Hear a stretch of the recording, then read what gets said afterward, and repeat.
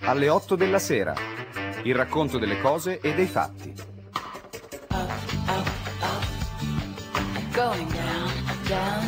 L'arte della conversazione di Benedetta Cravelli. Letture di Luca Zingaretti. Going down, down, down.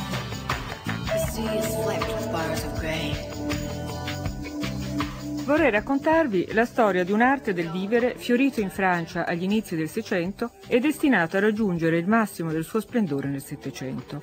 Un'arte del vivere che si sarebbe presto colorata di leggenda e che contrapponeva alla logica della forza e alla brutalità degli istinti un ideale di socievolezza all'insegna dell'amabilità e della cortesia.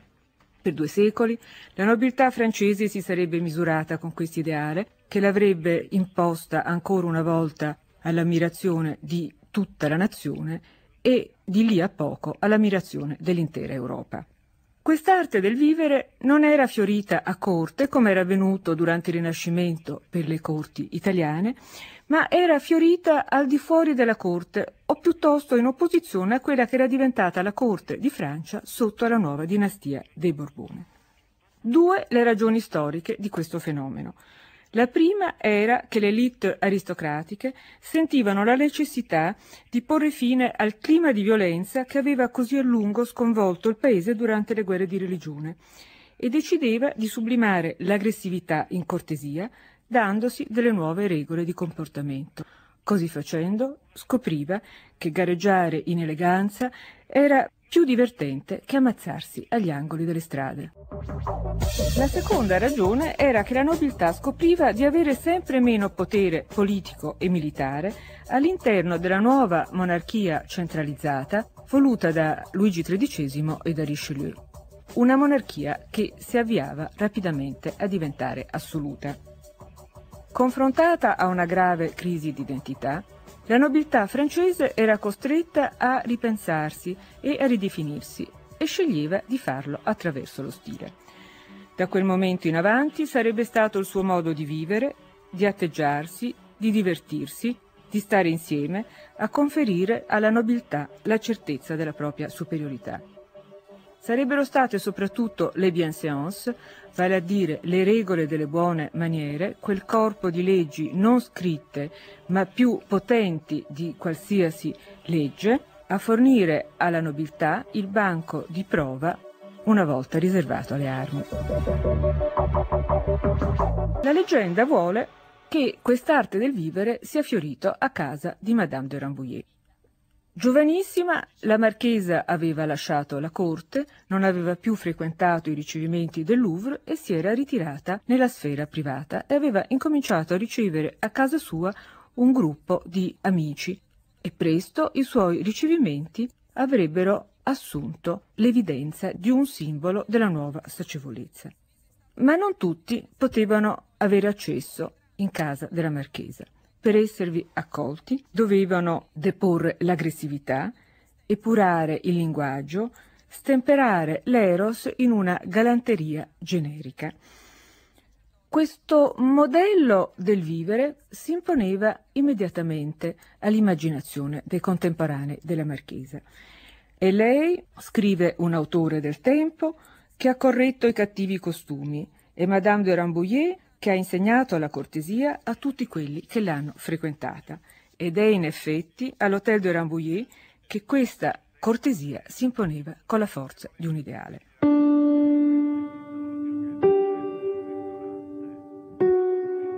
E inoltre la marchesa di Rambouillet a avere creato lo scenario archetipico che avrebbe fatto da sfondo alla sacevolezza francese per i due secoli successivi.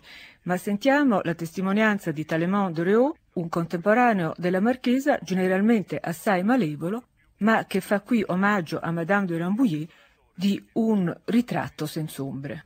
Madame de Rambouillet era figlia del marchese Pisani e di una Savelli una dama di un'illustre famiglia romana, che ebbe cura di farle imparare l'italiano non meno bene del francese.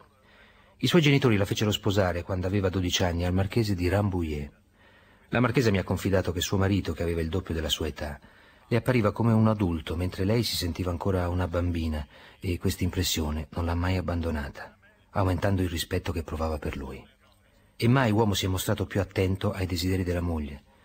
Madame de Rambouillet mi ha anche detto che suo marito era sempre stato innamorato di lei e che non pensava che si potesse essere più intelligenti di lei. In realtà non gli era difficile accontentarla perché era la ragionevolezza fatta persona. Eppure ella giura che se l'avessero lasciata libera di decidere non si sarebbe sposata e sarebbe rimasta ragazza.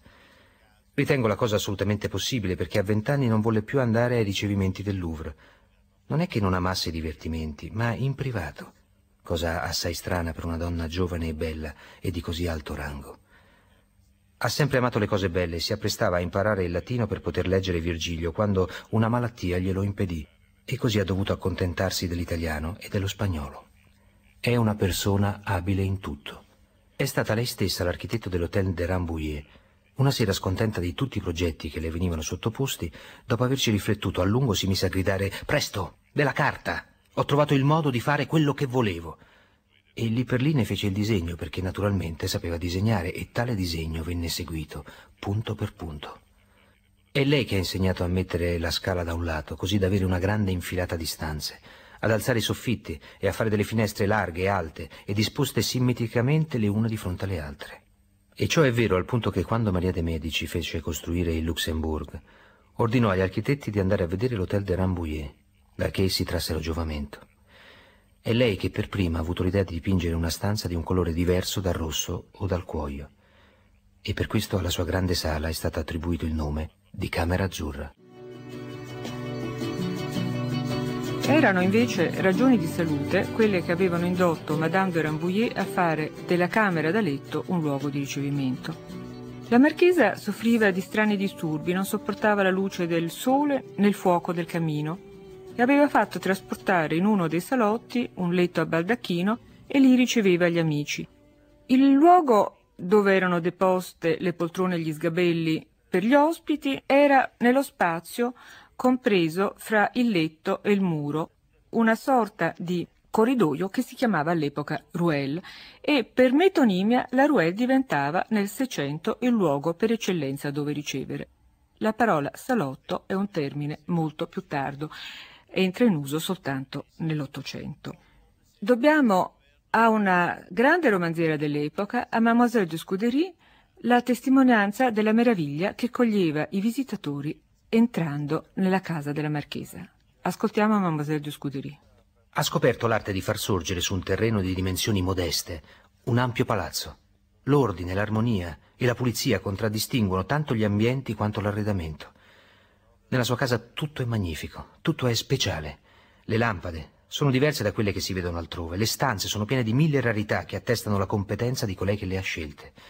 L'aria è sempre profumata. Molti cestini magnifici, pieni di fiori, creano nella sua casa un'eterna primavera. E il luogo in cui la si vede di solito è così piacevole, così ben ideato, che si ha l'impressione, quando le si è accanto, di essere sotto l'effetto di un incantesimo. È Mademoiselle de Montpensier, la cugina di Luigi XIV, detta la Grande Mademoiselle, che ricorda Madame de Rambouillet nella penombra della sua stanza, circondata da quadri, oggetti, libri, fiori, che mostrano come l'arredamento e il gusto per l'arte connotino fin dall'inizio la società mondana. Mi pare di vederla in una rientranza della parete, dove il sole non riesce a penetrare e da dove la luce non è interamente bandita. Questa specie di grotta è circondata da grandi vasi di cristallo pieni dei più bei fiori della primavera, sempre presente nei suoi giardini. Intorno a lei vi sono numerosi ritratti di tutte le persone che ama. Gli sguardi che ella posa su di loro sono come altrettante benedizioni per gli originali.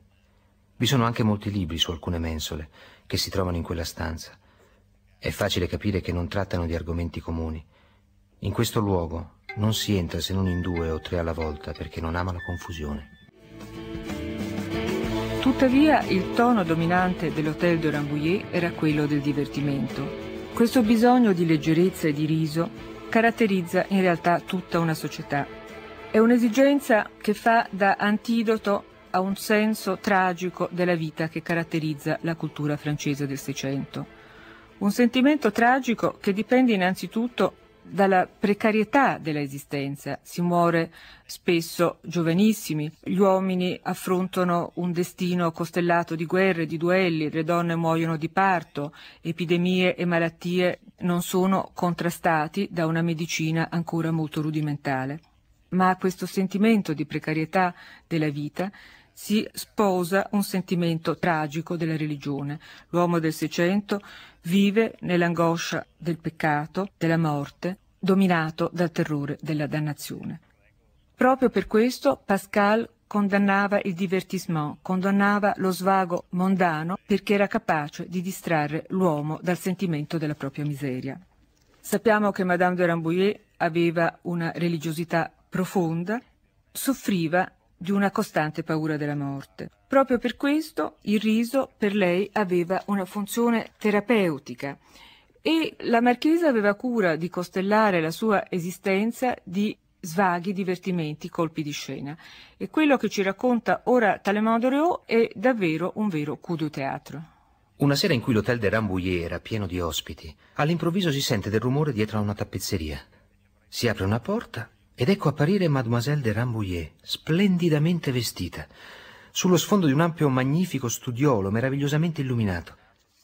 Vi lascio immaginare la sorpresa della gente.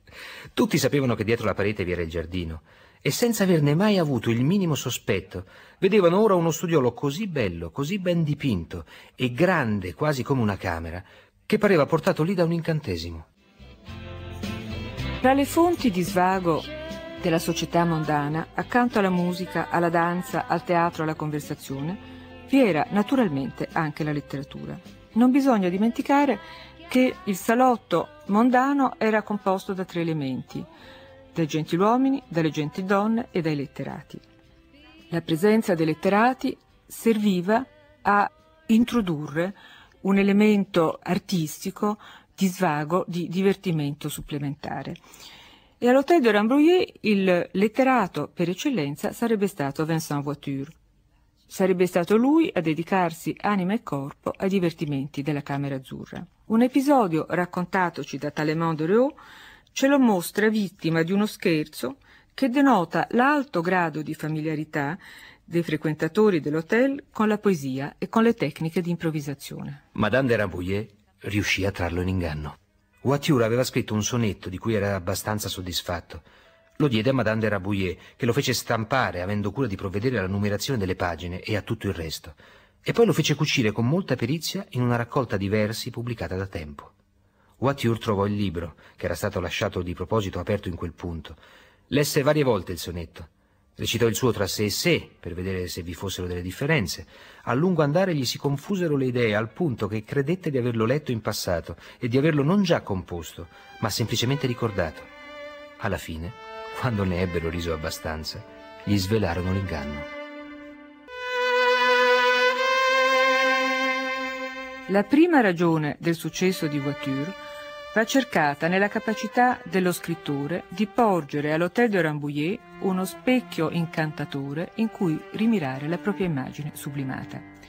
In versi e in prosa egli avrebbe raccontato la cronaca idealizzata dell'hotel, facendo entrare la vita mondana nell'alveo della letteratura e conferendole uno statuto artistico destinato a fungere da esempio. La lettera che stiamo per ascoltare è una lettera di Voiture scritta intorno al 1630 che racconta una gita in campagna in pieno stile Rambouillet. È una gita al castello di Madame du Vigeon, una delle amiche della marchesa, e la festa che ci verrà descritta è offerta alla principessa di Condé, vale a dire a una delle prime dame di Francia. La prosa euforica di Voiture ci trasporta in un altrove in un'Arcadia giocosa sospesa fra realtà e sonno. Come sapete, monsignore, Madame la Princesse, Mademoiselle de Bourbon, Madame du Vigeon, Madame d'Aubry, Mademoiselle de Rambouillet, Mademoiselle Paulet, Monsieur de Chaudebon ed io partimmo da Parigi verso le sei di sera per recarci alla bar dove Madame du Vigeon doveva offrire un rinfresco a Madame la Princesse. Entrammo in una sala dove si camminava su un tappeto di rose e di fiori d'arancio. Madame la Princesse, dopo aver ammirato questa magnificenza, volle andare a passeggiare nel parco, in attesa dell'ora di cena. In fondo a un grande viale che si estendeva a perdita d'occhio, trovammo una fontana che gettava da sola più acqua di tutte quelle di Tivoli. Disposti in cerchio attorno ad essa vi erano 24 suonatori di violino che sormontavano a fatica il rumore che l'acqua faceva cadendo. Quando giungemmo più vicino, scoprimmo in una nicchia intagliata in una palizzata una Diana dell'età di 11 o 12 anni, più bella di quanto l'avessero mai vista le foreste della Grecia e della Tessaglia. Accanto, in un'altra nicchia, vi era una delle sue ninfe, bella e gentile quanto bisogna per far parte del suo corteo. Coloro che non credevano nelle favole credettero che fosse Mademoiselle de Bourbon e la fanciulla Priand. Tutti tacevano attoniti davanti a tante cose mirabili che colpivano ugualmente la vista e l'udito quando all'improvviso la dea saltò giù dalla sua nicchia e con una grazia indescrivibile iniziò a ballare intorno alla fontana.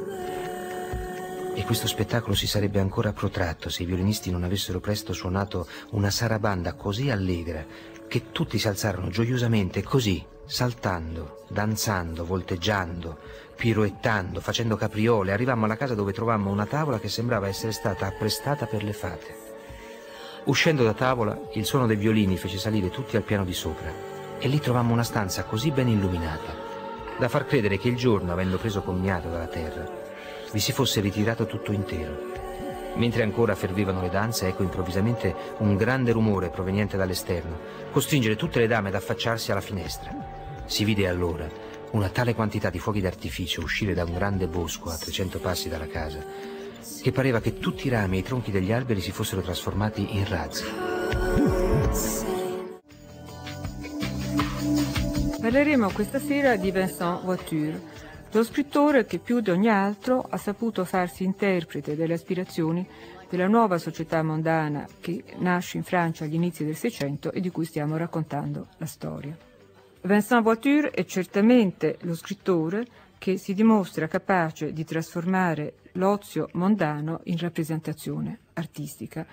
Nato a Parigi nel 1598 in una famiglia di commercianti, e dotato di un'ottima educazione umanistica, Vincent Voiture si faceva notare per il suo brio, per la sua intelligenza e questa fama di spirito lo faceva invitare all'Hôtel de Rambouillet.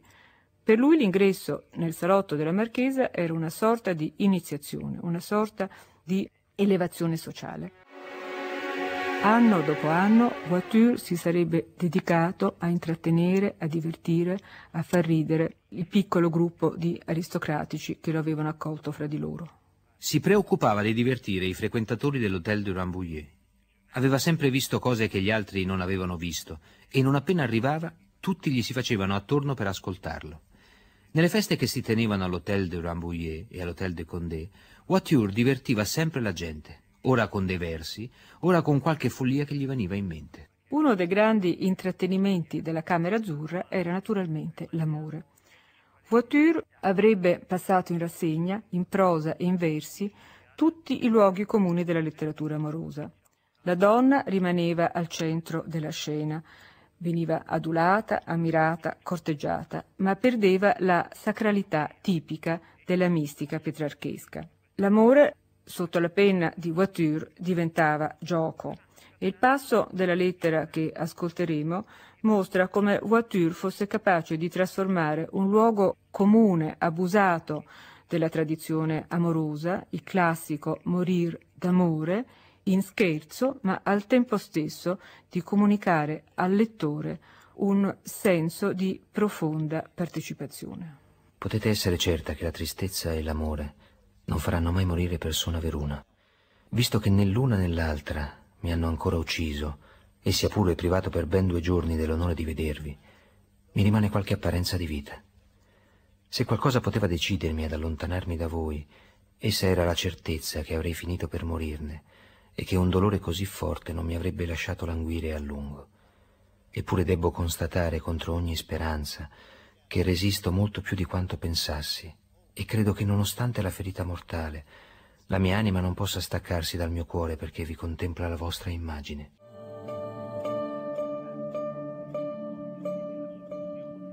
Era soprattutto nelle lettere in prosa che Voiture avrebbe dato il meglio di sé. Con lui prendeva l'avvio un nuovo stile epistolare destinato a fare scuola. indirizzate ai frequentatori dell'hotel. Le sue lettere sapevano interpretarne i gusti e gli interessi ed erano spesso delle lettere aperte, destinate non solo alla persona a cui erano indirizzate, ma destinate a essere lette e passare di mano in mano.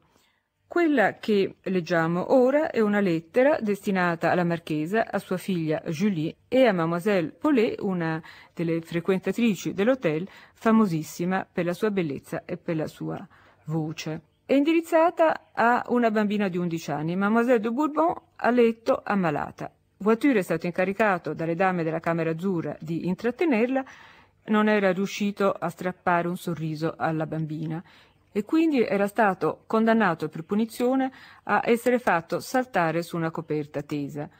Con un brio indiavolato, giocando sulla piccolezza della sua statura, lo scrittore trasforma questo scherzo goliardico in una sorta di viaggio nella fantasia.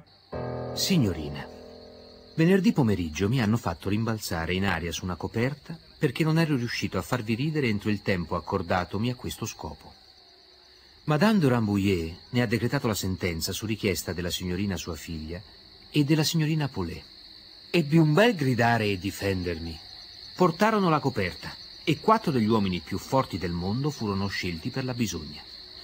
Ciò che posso dire, signorina, è che nessuno arrivò mai in alto come me e non credevo che la fortuna dovesse mai tanto innalzarmi. Ad ogni colpo mi perdevano di vista e mi lanciavano più in alto di quello che possono salire le aquile. Vidi le montagne abbassate al di sotto di me, vidi i venti e le nubi camminarmi sotto i piedi. Scoprì dei paesi che non avevo mai visto e dei mari che non avevo mai immaginato. Non c'è niente di più divertente che vedere tante cose assieme e scoprire con un solo colpo d'occhio la metà della terra. Ma vi assicuro, signorina, che non si guarda tutto ciò senza inquietudine, quando ci si trova nell'aria e ci manca la certezza di ritornare a terra. Una delle cose che più mi spaventavano era il fatto che quando mi trovavo molto in alto e guardavo in basso, la coperta mi pareva così piccola che mi sembrava impossibile ricaderci sopra e vi confesso che questo mi dava una certa emozione. Accadde un incidente strano, che sembrerà incredibile a chi non l'ha visto. Una delle volte in cui mi avevano lanciato più in alto, scendendo mi ritrovai in una nube assai spessa e, essendo io estremamente leggero, vi rimasi a lungo impigliato senza ricadere, di modo che quelli che stavano sotto rimasero a lungo con la coperta tesa, guardando in alto senza poter immaginare cosa mi fosse successo. Per fortuna non vi era traccia di vento, perché se ci fosse stato, la nube spostandosi mi avrebbe portato con sé e io avrei finito per precipitare al suolo, cosa che non poteva accadere senza che mi facessi molto male ma sopraggiunse un incidente ancora più pericoloso. L'ultima volta che mi lanciarono in aria, mi trovai in un branco di gru, che dapprima si stupirono di vedermi a quell'altezza, ma quando furono più vicine mi presero per uno di quei pigmei con cui, come sapete bene, signorina, sono da sempre in guerra e pensarono che fossi venuto a spiarle anche nella regione dell'aria, Subito mi si scagliarono addosso, a gran colpi di becco, con una violenza tale che credetti di essere trapassato da cento colpi di pugnale, e una di loro non mi lasciò fin quando ricaddi sulla coperta. Ciò dissuase i miei aguzzini dal mettermi nuovamente alla mercé delle mie nemiche, che si erano ammassate in gran quantità e si tenevano sospese nell'aria nell'attesa che vi venissi rispedito. Mi riportarono a casa in quella stessa coperta in uno stato di totale prostrazione. In verità bisognerebbe anche dire che si tratta di un esercizio un po' troppo violento per un uomo debole come me. Potete dunque giudicare, signorina, quanto questa azione sia tirannica e quante siano le ragioni che ve la debbano far disapprovare. E senza mentire perché siete nata con tante qualità per comandare, è bene che vi abituate di buon'ora a odiare l'ingiustizia e a prendere sotto la vostra protezione gli oppressi. Vi supplico dunque, signorina, di dichiarare in primo luogo questa impresa un'aggressione che disconoscete e di ordinare, al fine di risarcire il mio onore e farmi recuperare le forze, che si costruisca un grande padiglione di organza nella camera azzurra dell'Hotel de Rambouillet. Lì sarò servito e trattato magnificamente per due giorni interi dalle due signorine che sono state la causa della mia disgrazia. Ai due angoli della stanza si cuoceranno tutto il tempo delle marmellate e una delle due signorine soffierà sul fornello e l'altra si applicherà a versare dello sciroppo su dei piatti per farlo raffreddare e a portarmelo di tanto in tanto. Così, signorina, farete un atto di giustizia degno di una grande e bella principessa quale siete. Ed io sarò obbligato a dichiararmi con più rispetto e verità di chiunque altro al mondo, signorina, vostro, eccetera, eccetera, eccetera.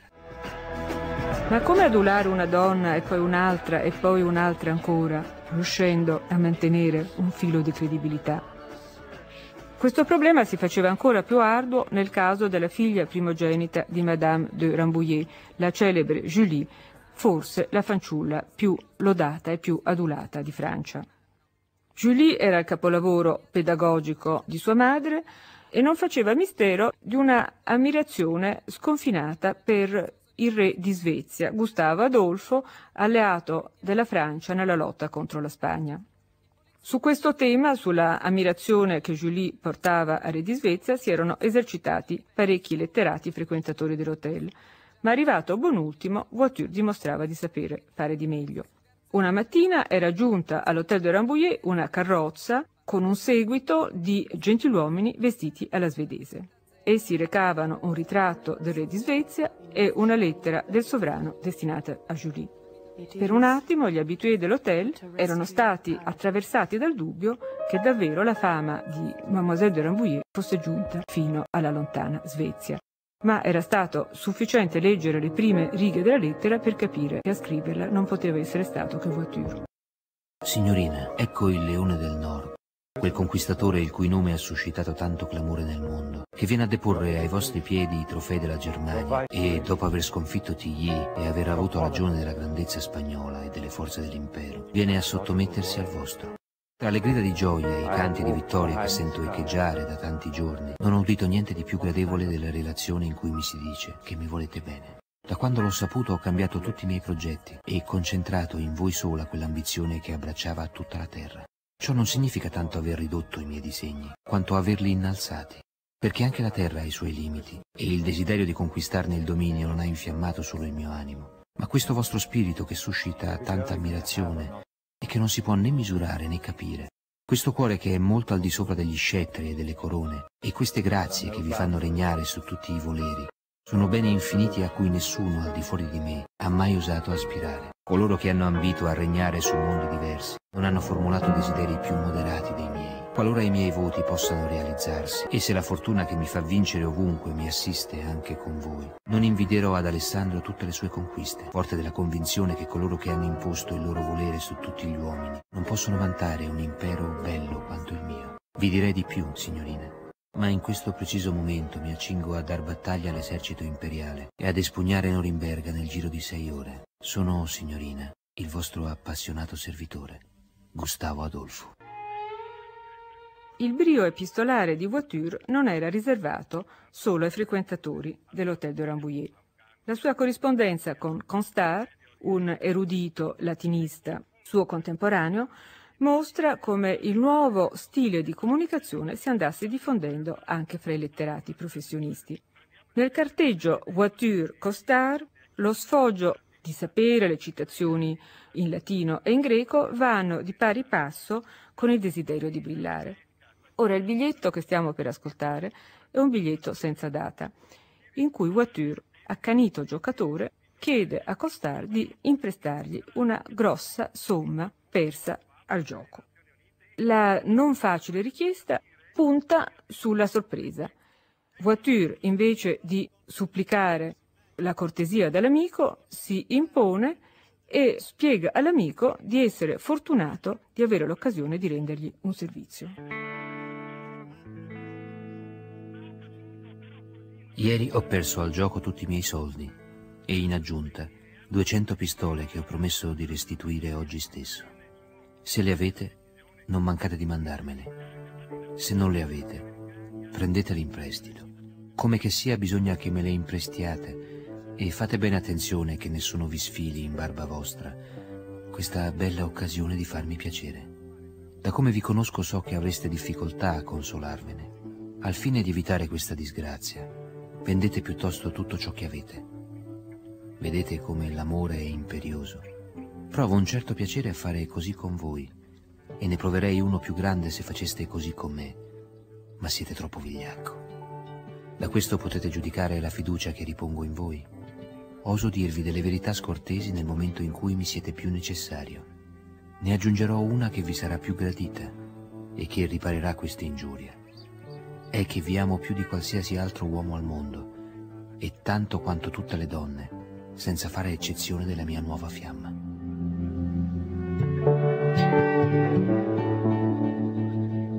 La palla è lanciata e Costar la rilancia con brio, pari a quello di Voiture. Il loro dialogo è un dialogo fra letterati gentiluomini che ostentano lo sprezzo del denaro. Provo una gioia estrema per essere in condizione di farvi il piccolo favore che mi chiedete. Non avrei mai pensato che 200 pistole potessero procurare un così gran piacere. Avendolo sperimentato, vi do la mia parola che d'ora in avanti avrò sempre un piccolo fondo pronto per tutte le volte in cui ne avrete bisogno.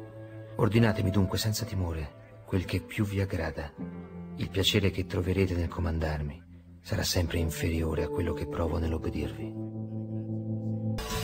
Nello spazio mondano del salotto, Voiture aveva la sensazione di essere un uguale, ma la differenza sociale fra lui e i suoi aristocratici ospiti permaneva e non mancava qualcuno all'occorrenza pronto a ricordarglielo. La lettera che stiamo per ascoltare, sempre indirizzata a Costar, esprime l'indignazione di Voiture per il fatto che circolano su di lui dei versi anonimi in cui si fa rimare il suo nome Voiture con Roture, vale a dire con plebeo. Non c'è traccia di ironia in questa lettera, ma sentiamo vibrare tutta la dignità del borghese e dell'intellettuale offeso davanti all'insulto. Vi mando dei versi che sono stati fatti contro di me dove si fa rimare voiture con roture. Mi viene voglia di far vedere a Monsieur Chaplain questa bella poesia che è stata composta in mia lode, perché sia più contento di avermi paragonato a Orazio. In effetti, anche se non ci assomigliamo in nient'altro, ci assomigliamo per la nostra estrazione plebea. Se il nostro genio è diverso, la nostra nascita è uguale. E mi sembra che quando avrò fatto un libro potrò ben dirgli quello che lui stesso dice al suo.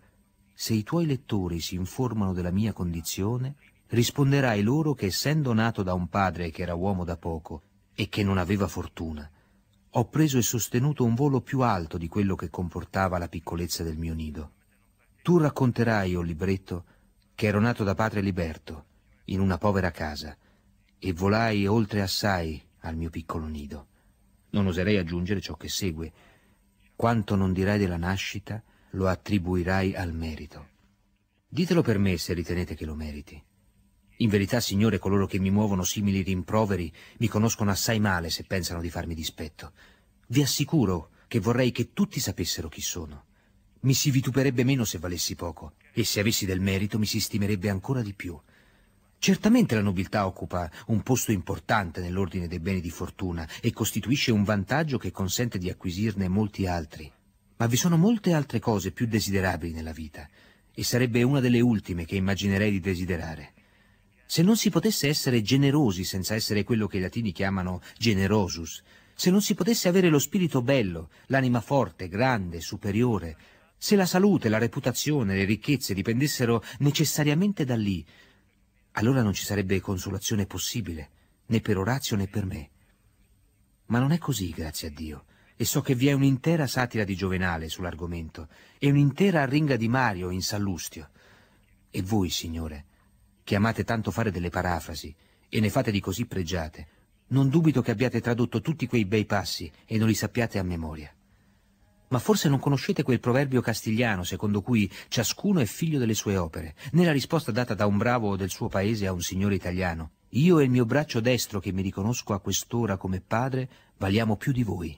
Permettetemi anche di precisare che in spagnolo hidalgo, che significa gentiluomo, viene da icodalgo, come dire figlio di qualche cosa, per sottolineare che la vera nobiltà ci viene dalle azioni virtuose, che ci danno una seconda nascita, migliore e più gloriosa della prima. Stando così le cose, signore, colui che è plebeo può rinascere gentiluomo e inondare la sua vita di luce, nonostante l'oscurità della sua origine. Ma per far questo bisogna possedere delle qualità straordinarie che mi mancano, e mi mancheranno sempre. Sono molto contento che non siano indispensabili per avere la vostra amicizia. perderei la speranza di poterla conservare e questo è uno dei pensieri che più mi rallegra. Vorrei parlarvi questa sera del ruolo determinante avuto dalle donne nella società mondana d'antico regime di cui stiamo raccontando la storia.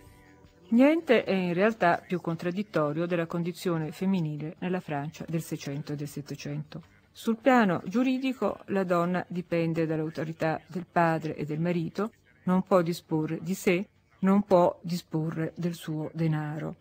A sua volta la Chiesa la tratta con sospetto, continua a considerarla un'Eva tentatrice, cerca di limitarne la sfera d'azione e la tiene lontana dalla cultura. Sul piano mondano, invece, la condizione di privilegio di cui gode la donna all'interno della società aristocratica costituisce un'eccezione in tutta l'Europa. Fin dai tempi della civiltà cortese, infatti, la donna della nobiltà è stata posta sopra un piedistallo e proprio sulla base della sua fragilità e della sua debolezza è oggetto della devozione e dell'ammirazione del cavaliere.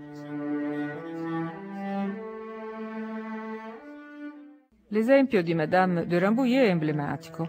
Saranno le donne a dettare legge in fatto di cortesia e di eleganza, Saranno le donne a stabilire l'uso esatto delle buone maniere, saranno le donne a insegnare l'onesta galanteria e saranno le donne a decidere dei piaceri e dei divertimenti della società mondana. Saranno le donne, cosa essenziale, a essere le maestre della lingua, saranno loro a costituire il punto di riferimento dell'uso corretto del francese e sarà la loro lingua, la lingua parlata dalle donne, a essere presa a modello nel grande dizionario dell'Académie française.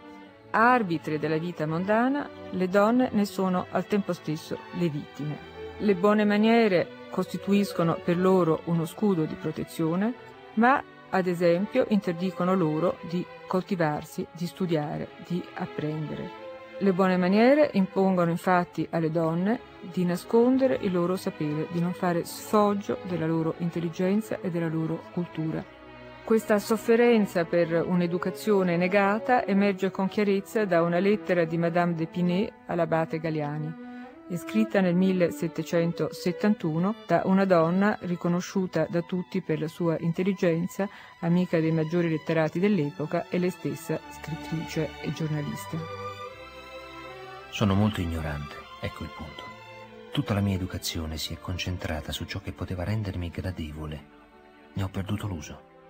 Non mi resta che qualche vaga conoscenza di quell'arte e il buon senso, cosa rara ai giorni nostri ne convengo, ma di cui non vale tuttavia la pena di far mostra. La reputazione di una donna belle esprimi sembra una presa in giro inventata dagli uomini per vendicarsi del fatto che generalmente le donne hanno uno spirito più gradevole del loro. Tanto più che si associa quasi sempre a questo epiteto l'idea di una donna sapiente, e la più sapiente delle donne non ha e non può avere che delle conoscenze estremamente superficiali. Sostengo dunque che una donna, per il fatto d'essere donna, non ha la possibilità di acquisirne di abbastanza estese per essere utile ai suoi simili, e mi sembra che solo da quello sia possibile menare ragionevolmente vanto. Per poter far uso utilmente delle proprie conoscenze, di qualunque genere esse siano, bisogna poter unire la pratica alla teoria. Senza questo si hanno solo delle nozioni imperfette. Concludiamo dunque da tutto ciò che una donna ha torto e si espone solo al ridicolo quando si spaccia per sapiente o per bel esprit e crede di poter difendere questa sua reputazione, ma che ha più che mai ragione nell'apprendere il maggior numero di conoscenze possibili. Ha più che mai ragione, espletati i doveri di madre, di figlia, di sposa, di dedicarsi allo studio o al lavoro, perché è un modo sicuro di bastare a se stessi di essere libera e indipendente, di consolarsi delle ingiustizie della sorte e degli uomini, che ci testimoniano il massimo dell'attenzione e della considerazione, quando meno se ne sente il bisogno. L'intelligenza, lo spirito, la grazia, la bellezza, delle maniere perfette, una conversazione squisita, erano state le sole risorse della incredibile ascesa sociale di Madame de Maintenon. Nipote del grande poeta uganotto Agrippa d'Aubigné, Françoise d'Aubigné era nata in una prigione dove suo padre era rinchiuso per debiti. Rimasta orfana molto presto, si era sposata a 16 anni per non entrare in convento con Paul Scarron, famoso poeta libertino dell'epoca, noto per la sua intelligenza, ma squatrinato e completamente paralizzato da un'artrosi deformante. Rimasta vedova a 25 anni, la vedova Scaron era riuscita a essere ammessa nella miglior società parigina del tempo. Era diventata amica di La Rochefoucauld, di Madame de Lafayette, di Madame de Sévigné, mantenendo la sua reputazione intatta. Frequentando i salotti parigini aveva conosciuto Madame de Montespan, l'amante in carica di Luigi XIV che le aveva affidato il compito di allevare i figli legittimi che aveva avuto con il re. Ma quando Luigi XIV l'aveva conosciuta, l'aveva voluta a corte, ne aveva fatto la sua amante, le aveva dato il nome di Madame de Maintenon e il marchesato che lo accompagnava, e finalmente alla morte della regina ne aveva fatto la sua sposa segreta, la sua sposa morganatica, e gli aveva affidato la cura di riconciliarlo con Dio, di riportarlo sulla via della religione. Eppure, arrivata al sommo della piramide sociale, Madame de Maintenon non riusciva a conservare la bella reputazione a cui aveva tenuto per tutta la vita. Prigioniera di Versailles, in una situazione ambigua non riconosciuta, doveva voltare le spalle alle regole della mondanità e recitare un falso personaggio. La satira l'avrebbe infatti dipinta come un ipocrita, come un tartuffe. E questo emerge con chiarezza nel perfido ritratto che le ha dedicato Saint-Simon. Era una donna di molto spirito, che le migliori compagnie dove era stata dapprima tollerata e di cui presto aveva fatto il piacere, avevano raffinato e perfezionato nella scienza del mondo e che la galanteria aveva finito per rendere ancora più gradevole. Le diverse condizioni in cui si era trovata a vivere l'avevano resa adulatrice, compiacente, sempre attenta a piacere. Una grazia incomparabile in tutto, un'aria disinvolta e tuttavia piena di modestia e di rispetto, attitudine ormai naturale dopo tanti anni di vita subalterna, mettevano meravigliosamente in valore i suoi talenti. A questo si aggiungeva un linguaggio dolce, preciso, con un'eccellente scelta dei termini e naturalmente eloquente e conciso. La sua stagione migliore, perché aveva tre o quattro anni più del re, era stata quella delle belle conversazioni, della bella galanteria, in una parola di quelle che chiamavano le ruelle, e il suo spirito ne era stato così fortemente influenzato che ne aveva sempre conservato il gusto e l'impronta. Il tono prezioso e affettato che caratterizzava un po' il gusto dell'epoca a cui era rimasta fedele si era accentuato con la vernice dell'importanza e si accrebbe con quello della devozione che diventò il carattere dominante e che sembrò assorbire tutto il resto. Le era d'importanza capitale per mantenersi là dove era arrivata e lo fu ugualmente per governare. Quest'ultimo punto è stato la sua ragion d'essere. Tutto il resto gli venne sacrificato senza riserve.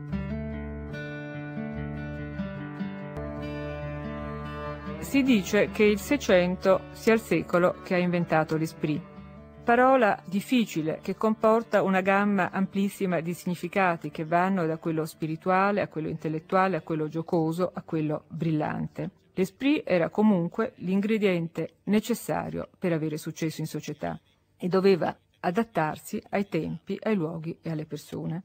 Nel Settecento diventava oggetto di un vero e proprio culto. Aveva fatto la fortuna di Voiture, aveva creato il successo di Madame de Sévigné, diventerà, sotto la pena di Voltaire, un'arma micidiale. Ma fino allora una patente di esprit non aveva mai avuto il potere di cambiare lo statuto sociale di una persona. E quanto era successo invece all'inizio del Settecento a Mademoiselle Delaunay, una ragazza intelligente e colta, ma orfana e povera, che era dovuta entrare al servizio della duchessa del Maine con le mansioni di oscura cameriera. Era stata una letterina a Fontenelle a cambiarle la vita.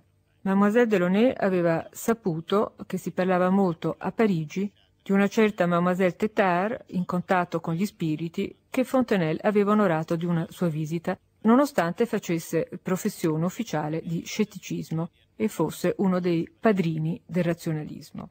Sarà l'autrice stessa della lettera a spiegarne il successo nelle sue memorie. La lettera ha incuriosito e interessato perché aveva il dono della propos, aveva il senso della pertinenza, il senso dell'opportunità.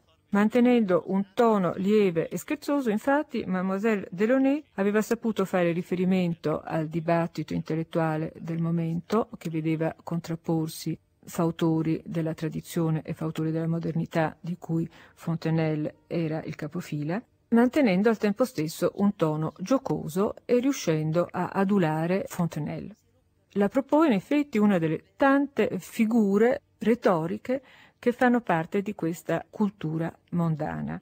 Come le bienséances e come l'esprit, la propos deve rispettare i tempi, i luoghi e le persone e deve sapere sintonizzarsi con la sensibilità e con lo spirito degli interlocutori.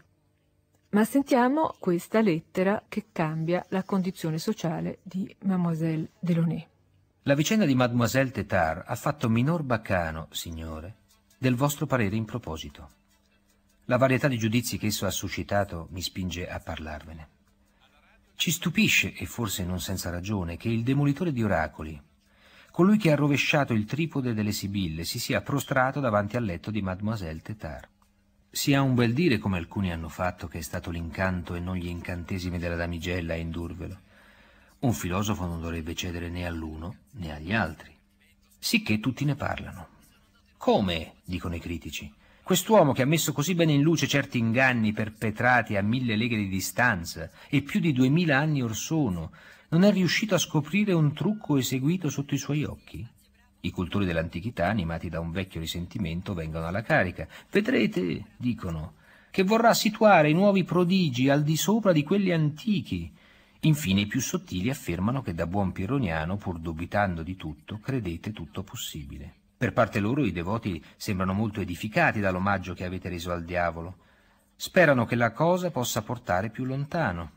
Anche le donne vi sono grate della scarsa diffidenza che avete mostrato verso gli artifici del sesso. Quanto a me, signore, sospendo il mio giudizio nell'attesa di vederci più chiaro. Mi limito ad osservare che l'attenzione particolare con cui si seguono fin le minime tra le vostre azioni è una prova incontestabile della stima che la gente ha per voi e trovo fianco nelle sue critiche qualcosa di abbastanza lusinghiero da non farmi temere che sia un'indiscrezione riferirvele. Se volete ricambiare la mia schiettezza con la vostra, vi prometto di farne buon uso. Ho l'onore di essere, eccetera, eccetera, eccetera. Il successo della lettera aveva fatto sì che la duchessa del Maine si accorgesse dell'esistenza della sua oscura cameriera. Aveva preso gusto alla sua conversazione e per ovviare a dei problemi d'etichetta e averla sempre con sé l'aveva fatta sposare a un ufficiale di suo marito, Monsieur de Stael. Il matrimonio non sarebbe stato felice, un matrimonio malinconico e senza amore, ma Madame de Stael Delaunay avrebbe contribuito con la sua intelligenza a creare il primo grande centro mondano del Settecento. Era invece l'esprit, nella sua valenza intellettuale, a riscattare Madame de Tencin da un'esistenza piena di scandali. Quella che Diderot chiamerà la scellerata canonichessa de Tencin è la prima grande vittoria dell'intelligenza sulla rispettabilità. Madame de Tencin avrà un salotto intellettuale fra i più importanti della Parigi del Settecento. Madame de Tencin era stata monacata a forza da un padre tirannico, si era liberata dai voti seducendo il suo confessore, Aveva partecipato a tutti gli scandali della reggenza, il suo ultimo amante si era ammazzato a casa sua accusandola di averlo derubato, aveva infine abbandonato sul sagrato di una chiesa un figlio illegittimo che diventerà poi il celebre scrittore d'Alembert. Il successo del salotto intellettuale di Madame de Tencin, che sarà frequentato dagli scrittori più importanti della prima metà del Settecento, era dovuto soprattutto alla personalità della sua padrona di casa, alla sua grande intelligenza. È nel suo salotto che nasce una nuova forma di socievolezza, la socievolezza dei lumi, dove la conversazione non deve più soltanto divertire e svagare, ma è diventata uno scambio intellettuale fra uguali. Ascoltiamo il ritratto che ne ha lasciato il grande Marivaux frequentatore del suo salotto, che l'ha ritratta sotto il nome di Madame d'Orsan. A casa sua non era questione né di rango né di condizione. Nessuno si ricordava della sua maggiore o minore importanza. Erano uomini che parlavano ad altri uomini e tra di loro solo le ragioni migliori avevano la meglio su quelle più deboli, nient'altro che questo. O, se volete che vi dica una grande parola, essi erano come delle intelligenze allo stato puro, tra cui non era più questione dei titoli conferiti qua giù dal caso, e non credevano che le loro cariche fortuite dovessero umiliare gli uni o inorgoglire gli altri. Ecco come la si pensava a casa di Madame d'Orsin. Ecco come si diventava con lei, contagiati da questo suo modo di pensare ragionevole e filosofico che, come vi ho detto, le era proprio, e che faceva sì che tutti fossero filosofi. Agli inizi del Settecento, l'Esprit era riuscito a promuovere socialmente Madame de Stael Delaunay, ma non era riuscito a affrancarla dalla tirannide della duchessa del Maine. Cinquant'anni dopo, la forza del prestigio intellettuale procurerà invece l'indipendenza a Julie de Lespinasse. Quando nel 1766 Julie de Lespinasse era stata cacciata dalla casa della marchesa du Deffand, le dame dell'alta società parigina avevano fatto a gara per costituirle un vitalizio e per consentirle di andare a vivere da sola in modo indipendente e di aprire un salotto tutto per sé. Una cortesia squisita, una grande delicatezza di tatto, una intelligenza appassionata, una sensibilità vibrante, avevano fatto della oscura ragazza venuta dalla campagna una vedette dei lumi. Quella che ascolteremo ora è la testimonianza di Marmontel, un ritratto che spiega come la seduzione verbale di Julie avesse incantato tutta una società. Aveva preso i suoi ospiti qua e là in società, ma così ben assortiti che quando erano con lei costituivano un insieme armonioso, come le corde di uno strumento montato da un'abile mano. E continuando nel paragone potrei dire che suonava questo strumento con un'arte sconfinante con la genialità. Sembrava sapere quale suono avrebbe emesso la corda che stava per toccare. Intendo dire che conosceva talmente bene le nostre intelligenze e i nostri caratteri che le bastava una parola per farli reagire. In nessun altro posto la conversazione era più viva, più brillante e meglio regolata che da lei. Era davvero un fenomeno raro quella gradazione di calore temperata e costante che lei sapeva mantenere sempre uguale, ora moderandola, ora alimentandola. L'ininterrotta attività della sua anima si comunicava alle nostre, ma con misura. Essa era mossa dall'immaginazione e regolata dalla ragione, e badate bene che i elementi che rispondevano alle sue sollecitazioni non erano né deboli né leggere. Ne facevano parte i Condillac, i Turgot, e d'Alembert, quando le era accanto, aveva l'aria di un semplice e docile bambino. Il suo talento di lanciare uno spunto di riflessione e di lasciarlo discutere a degli uomini di quel valore, il suo talento di discutere lei stessa, come loro, con precisione e talvolta con eloquenza, il suo talento di proporre delle idee nuove e di variare la discussione sempre con la naturalezza e la facilità di una fata che, con un colpo di bacchetta, cambia a suo piacimento lo scenario dei suoi incantesimi. Questo talento, io dico, non era quello di una donna qualunque. Vorrei parlarvi questa sera dell'importanza che la scrittura epistolare andava assumendo nella civiltà mondana francese di cui andiamo raccontando la storia. Nel 1624 lo scrittore più famoso della sua epoca, Gues de Balzac, conquistava il pubblico mondano pubblicando una raccolta di lettere. Questa raccolta è importantissima per due motivi. Prima di tutto perché Balzac abbandonava il latino, la lingua convenzionale usata dai letterati fra di loro, per il francese e dimostrava le possibilità straordinarie del francese giudicato ormai una lingua matura. Dimostrava inoltre la possibilità che la scrittura familiare aveva, la scrittura familiare in senso di un genere familiare come quello della lettera, la possibilità che la scrittura familiare aveva di trasformarsi in prosa d'arte. Ma era Voiture, contemporaneo di Balzac, che non si voleva uno scrittore professionista ma un semplice dilettante, a imporre la linea maestra dello stile epistolare all'insegna della naturalezza e in un rapporto mimetico con la conversazione. Ma la scrittura epistolare non era solo appannaggio degli scrittori. Lo sviluppo stesso della società mondana ne faceva un mezzo di comunicazione importante.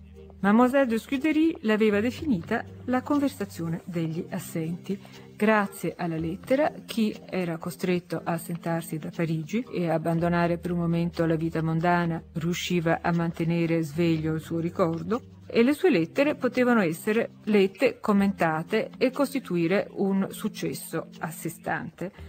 Ma tutto questo a condizione di sapere conservare la grazia, il brio, il tono della conversazione.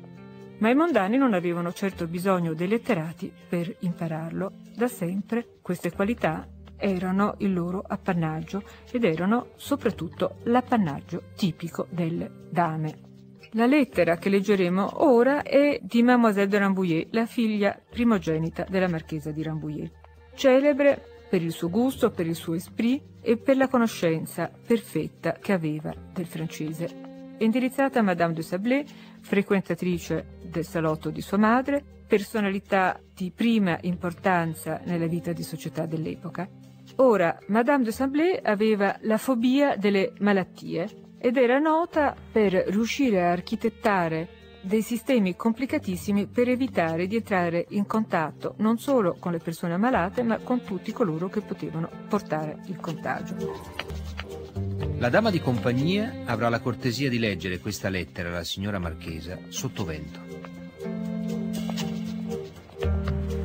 Signora, credo di non poter dare inizio troppo presto alle mie trattative con voi, perché sono certa che tra la prima proposta che mi verrà fatta di vedervi e la conclusione, voi avrete talmente tanto su cui riflettere, talmente tanti medici da consultare, talmente tanti timori da sormontare, che nel frattempo avrò avuto ampio modo di aerarmi. Le condizioni che vi propongo sono non venire da voi se non dopo tre giorni di assenza dall'Hotel de Condé, di cambiare tutti gli indumenti, di scegliere un giorno in cui ha gelato, di tenermi a non meno di quattro passi di distanza da voi, di sedermi sempre sulla stessa sedia. Quanto a voi potrete accendere un gran fuoco in camera vostra, bruciare del ginepro ai quattro angoli della stanza, spandere tutto intorno dell'aceto imperiale, della ruta e dell'assenzio. Se vi sentite sufficientemente rassicurata dalle mie proposte, senza che debba tagliarmi i capelli, vi giuro di eseguirle con scrupolo religioso. Se avete bisogno di esempi per darvi coraggio, vi dirò che la regina ha consentito a vedere Monsieur de Chaudebon appena reduce dalla camera di Mademoiselle de Bourbon, e che Madame d'Aguillon, la quale se ne intende di queste cose ed è inappuntabile in materia, mi ha appena fatto dire che qualora non la volessi vedere, verrebbe lei stessa a cercarmi. A forza di voler essere spiritosa, Mademoiselle de Rambouillet ha evidentemente ecceduto, ha superato il limite richiesto dalle bienséance e la sua ironia giocosa si è trasformata in sarcasmo.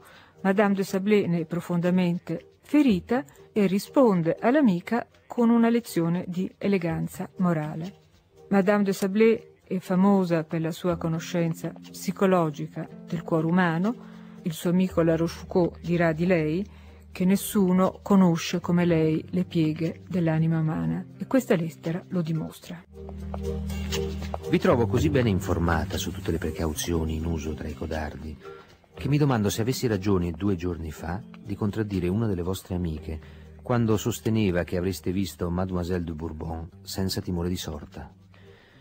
Non è, come potete immaginare, che voglia negare alla vostra generosità tutti gli onori che merita, perché so bene che se ce ne fosse bisogno, essa vi farebbe sormontare ogni ostacolo per non mancare mai al vostro dovere.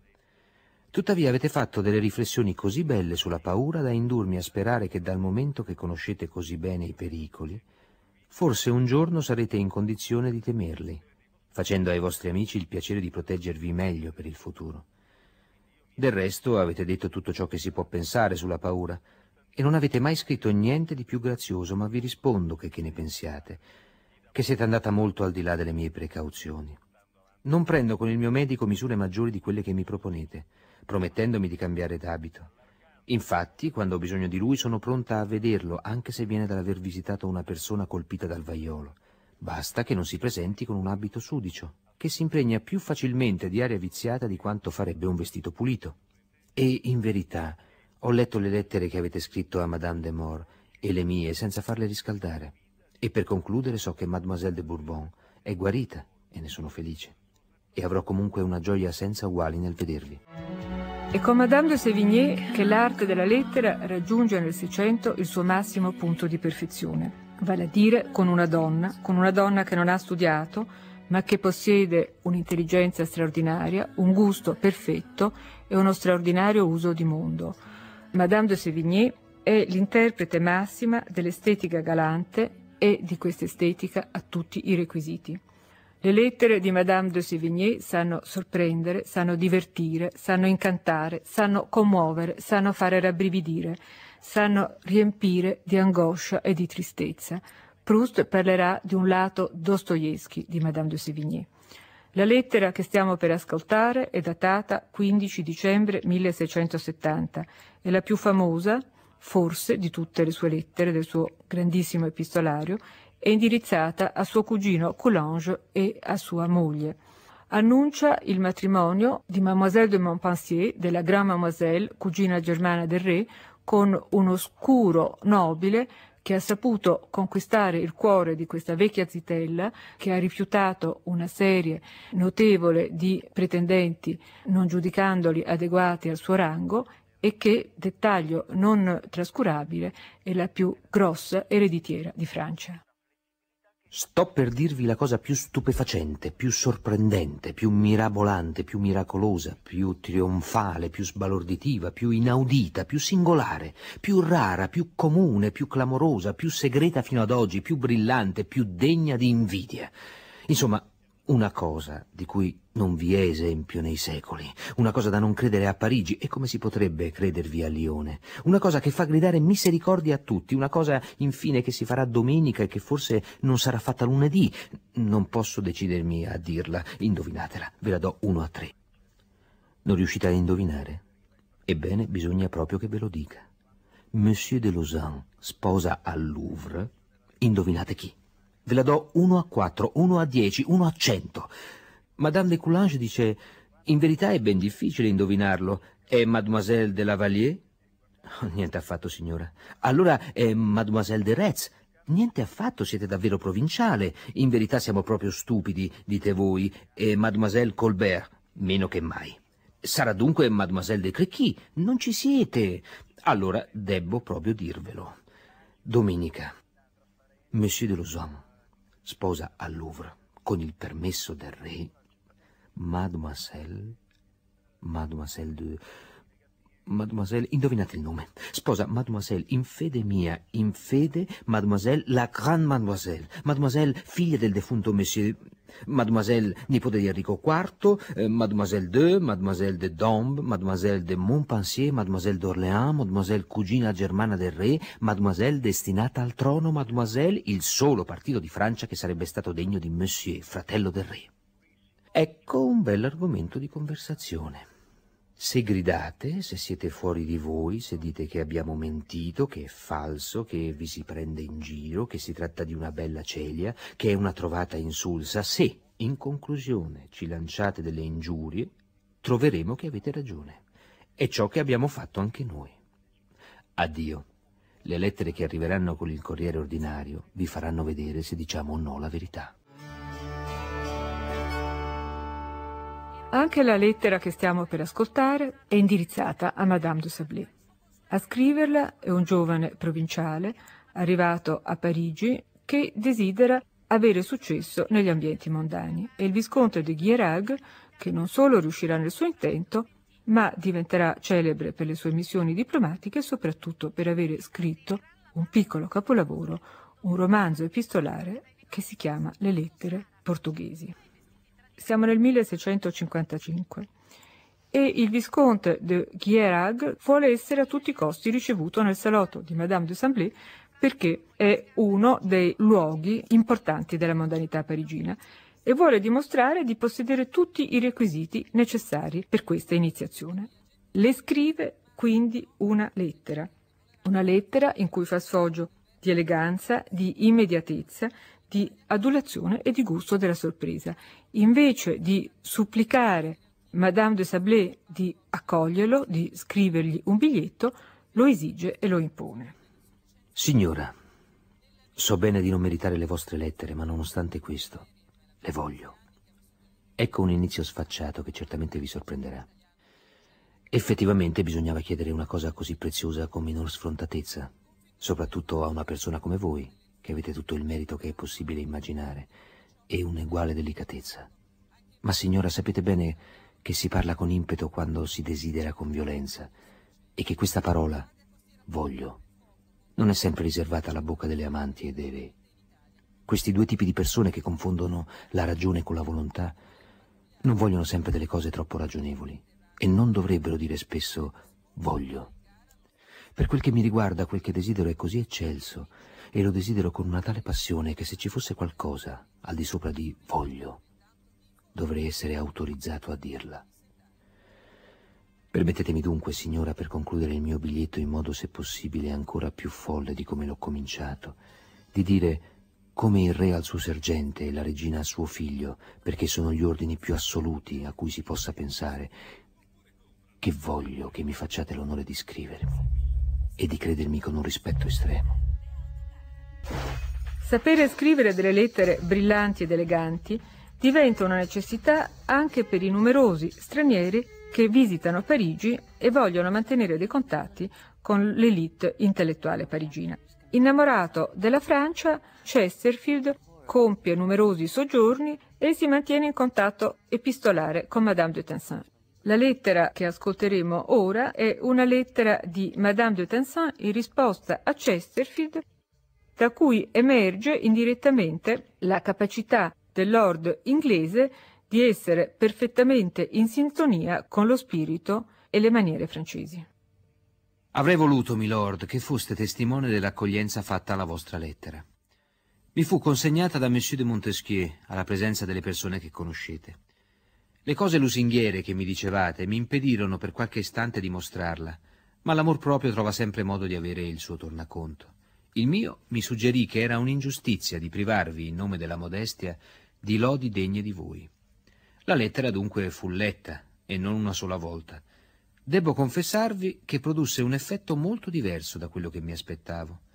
Questo milord, esclamò Monsieur de Fontenelle, subito seguito dagli altri, ci vuole prendere in giro scrivendo nella nostra lingua meglio e più correttamente di noi. Che abbia la bontà di accontentarsi di essere il primo gentiluomo della sua nazione, di avere i lumi e la profondità del genio che la caratterizzano, e che non venga, in aggiunta, a impadronirsi delle nostre grazie e della nostra cortesia. Pubblicate soltanto nel Settecento, le lettere di Madame de Sévigné diventano subito oggetto di culto. È alle lettere di Madame de Sévigné che si ispira, ad esempio, Horace Walpole, il grande aristocratico inglese, che sta perseguendo il progetto di un grande epistolario che dovrà avere la funzione di costituire uno specchio completo della società inglese della sua epoca. Proprio perché ha conoscenza della grande ammirazione che Walpole consacra a Madame de Sévigné, che la amica parigina di Walpole, Madame du Deffand, decide di fargli uno scherzo fa confezionare in gran segreto una tabacchiera d'oro con sul coperchio il ritratto di Madame de Sévigné e le iniziali della marchesa sul retro.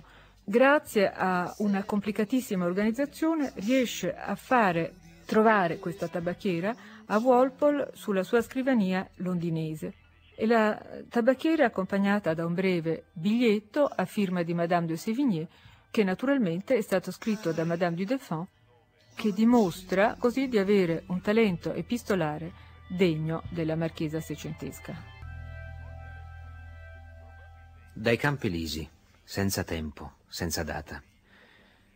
Conosco la vostra folle passione per me, il vostro entusiasmo per le mie lettere, la vostra venerazione per i luoghi che ho abitato. So del culto che là mi avete reso e sono così commossa che ho chiesto e ottenuto dai miei sovrani il permesso di venirvi a trovare per non lasciarvi più.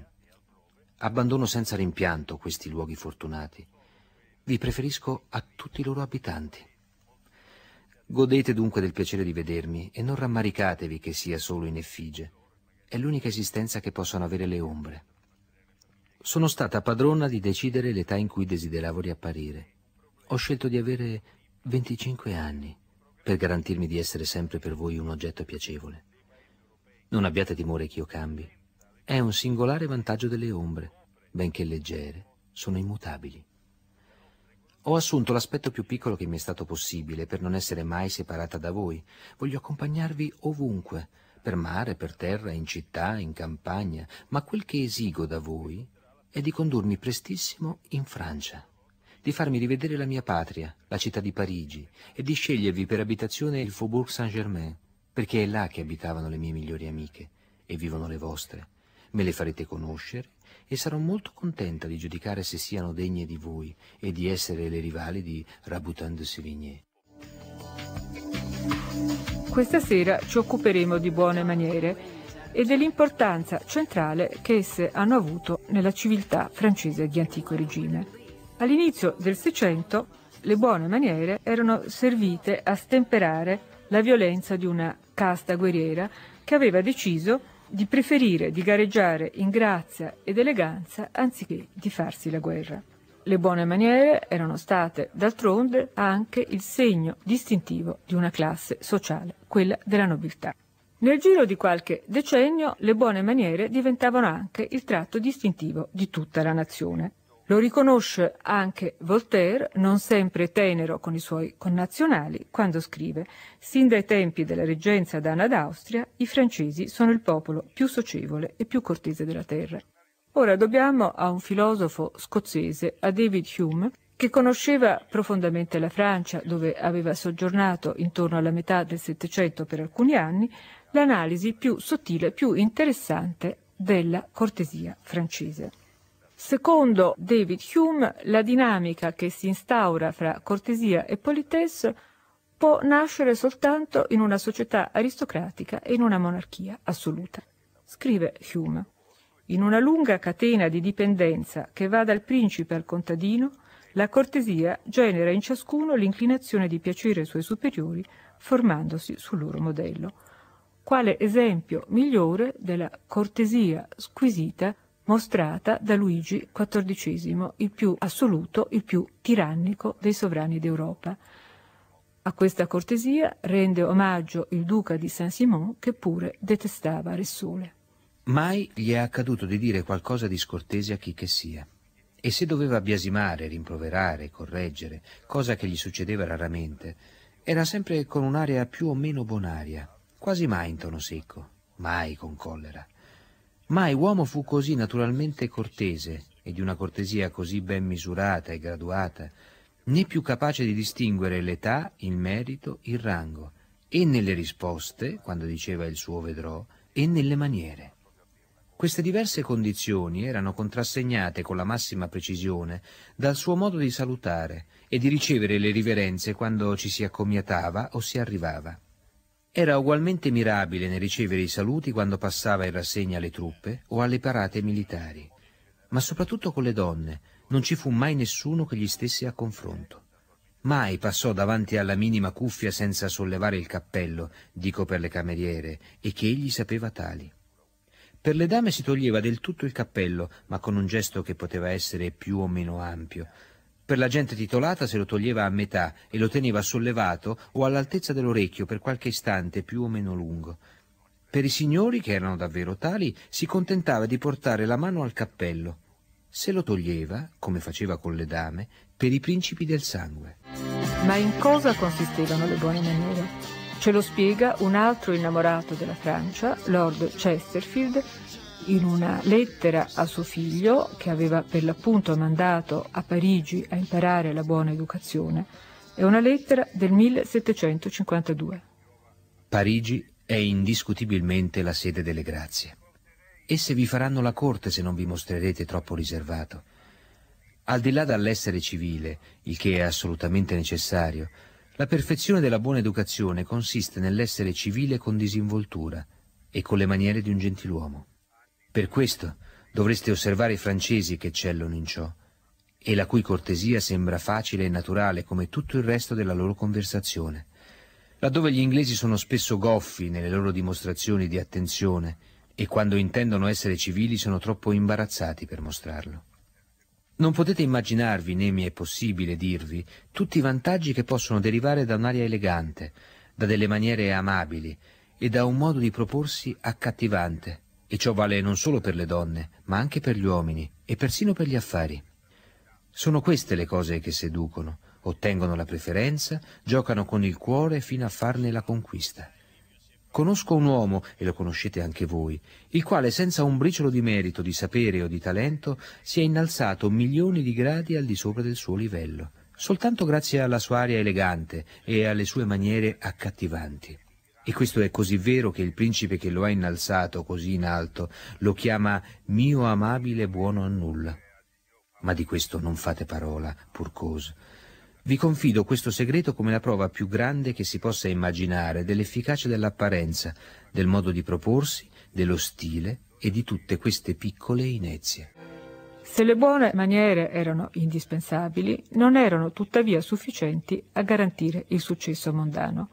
Per avere successo, per piacere, bisognava anche possedere quel certo non so che, il je ne sais quoi, qualità ineffabile che sfuggiva a ogni definizione, a ogni analisi razionale e di cui Lord Chesterfield tenta di dare la spiegazione in una lettera del 1768.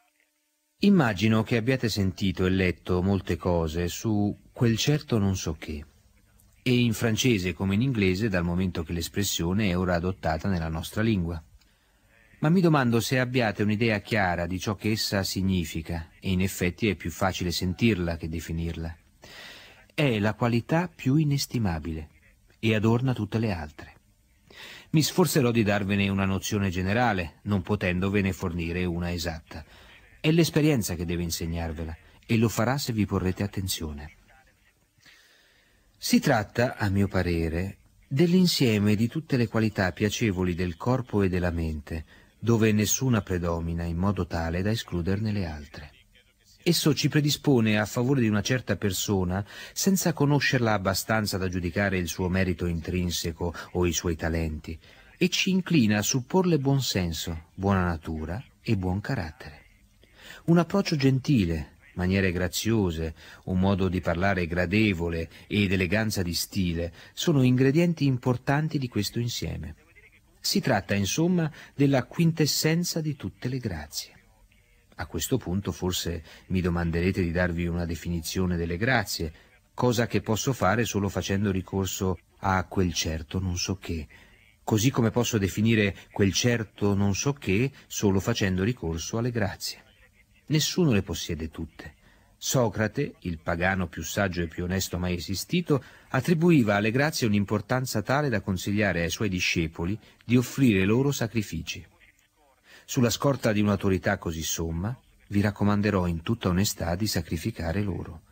Invitatele, invogliatele, supplicatele di accompagnarvi in tutto ciò che fate e dite, e sacrificate loro ogni attimo d'ozio e di pigrizia. Tramandate di generazione in generazione, le buone maniere erano diventate per le dame dell'alta società francese una seconda natura. Non era così per una provinciale svizzera come Madame Necker, approdata a Parigi e improvvisamente al centro della scena mondana perché suo marito, Jacques Necker, era stato chiamato nel 1777 ad assumere l'importantissima carica di controllore generale delle finanze. Con metodicità svizzera, Madame Necker incominciava a osservare il comportamento delle dame del bel mondo, tentando di imitarlo e appuntando giorno dopo giorno sui suoi taccuini annotazioni, riflessioni, consigli. E in effetti questi suoi taccuini possono essere anche considerati l'ultimo manuale di buone maniere scritto in Francia prima della rivoluzione francese. Se si fa o si riceve una visita, Bisogna sedersi dolcemente, con un'aria calma, avere uno sguardo interessato e attento, dire delle parole delicate o cortesi, non fare mai uso di espressioni troppo forti, non cercare di far sapere di essere in rapporto con le persone importanti di cui si parla, non volere troppo riempire ed animare la conversazione, tollerare qualche pausa, lasciar venire la parola a sé e non correrle incontro, Così ci si mostra superiori a quel che si dice, mentre la premura di parlare fa supporre che si reputi il proprio pensiero degno d'ammirazione. Non bisogna affrettarsi a raccontare delle storie, e nella conversazione ci si deve concedere dei momenti di abbandono solo quando è un movimento dell'anima a trascinarci, nostro malgrado, sotto la spinta del dolore o dall'indignazione. L'abbandono si addice anche nelle esplosioni di allegria, e allora si può esagerare, ma la fredda determinazione non piace mai.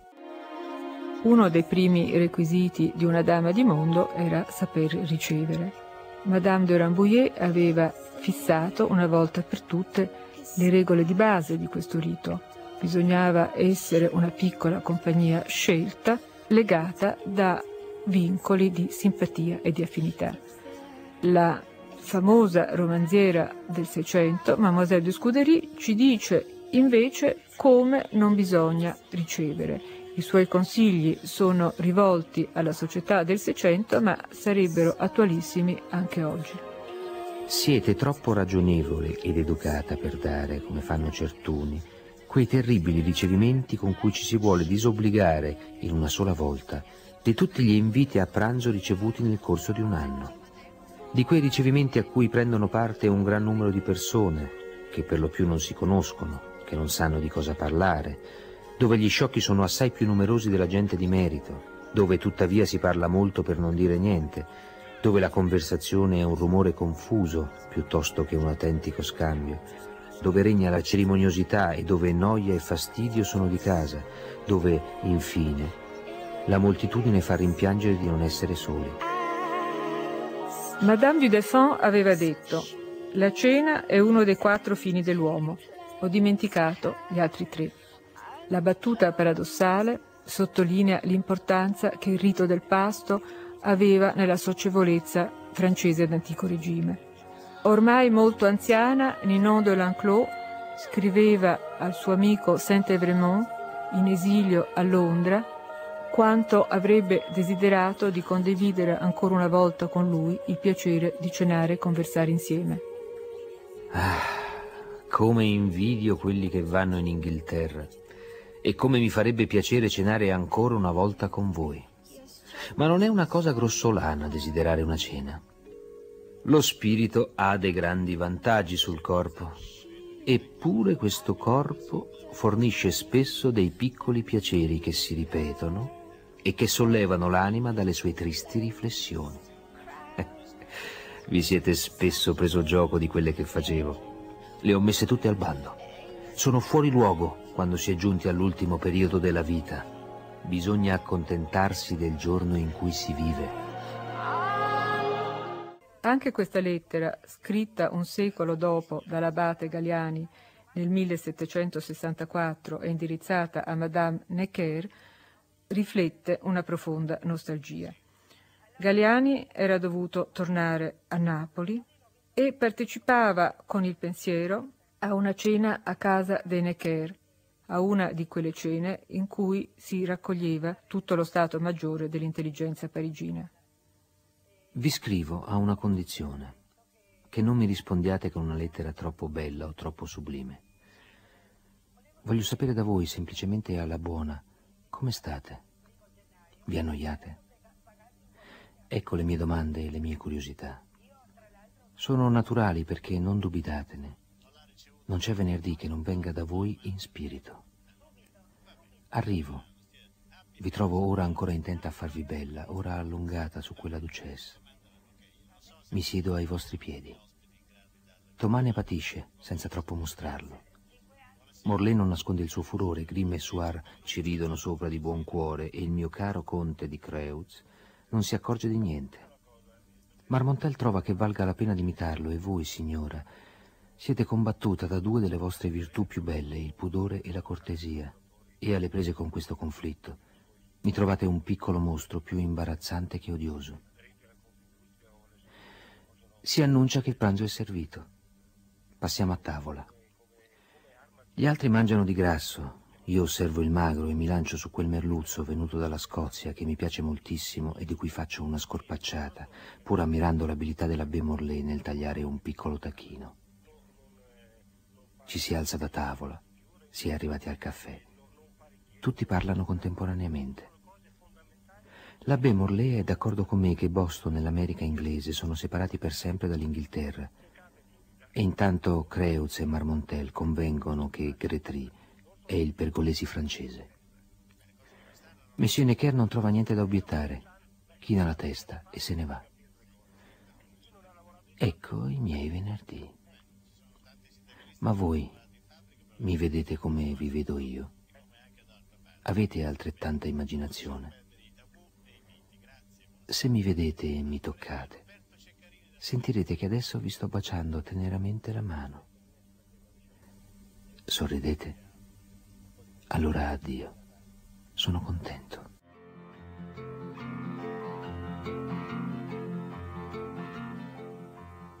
Una lettera del cavaliere di Lille al principe di Ligne ci trasporta invece a Versailles, nell'appartamento di Diana di Polignac, cognata della favorita di Maria Antonietta. Siamo nel 1780, nove anni prima della rivoluzione francese. Eppure niente sembra turbare la solare allegria di questo gruppo di giovani aristocratici la cui leggerezza sarà presto fatale alle sorti della corona francese. Che tacchino abbiamo appena mangiato a casa della contessa Diane. Mio Dio, che bella bestia! È stato il signore di Poix che l'ha fatto venire dalla riserva reale. Eravamo otto intorno a lui, la padrona di casa, la contessa Jules, le signore de Nain e de la Force, il conte d'Artois, il signor di Vaudreuil, il cavaliere di Clusol ed io.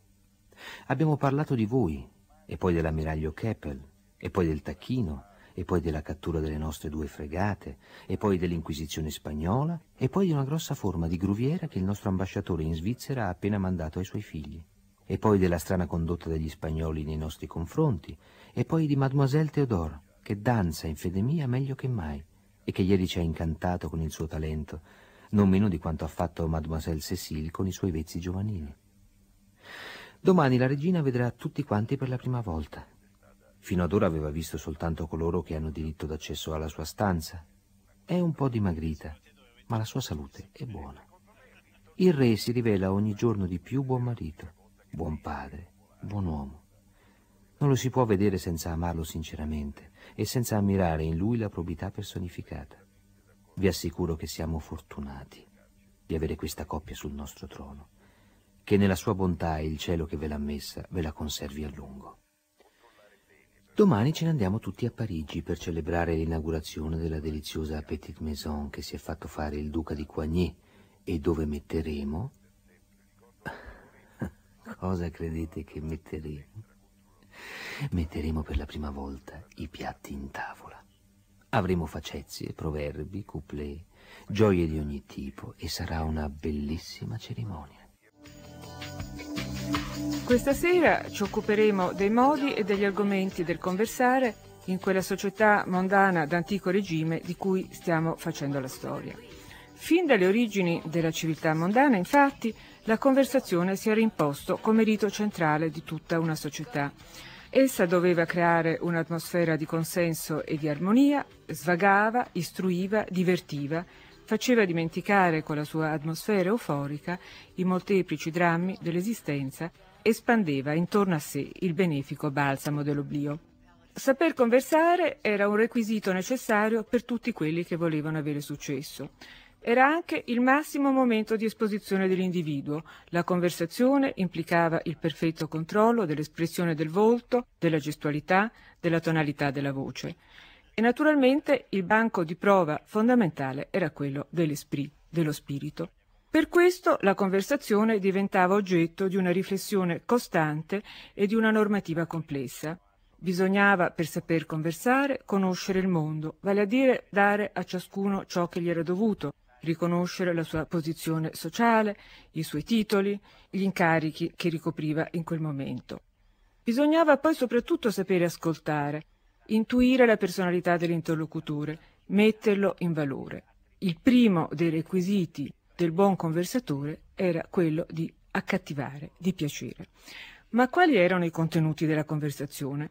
Il cavaliere di Meret sosteneva che tutti gli argomenti erano uguali, l'importante era come se ne parlava.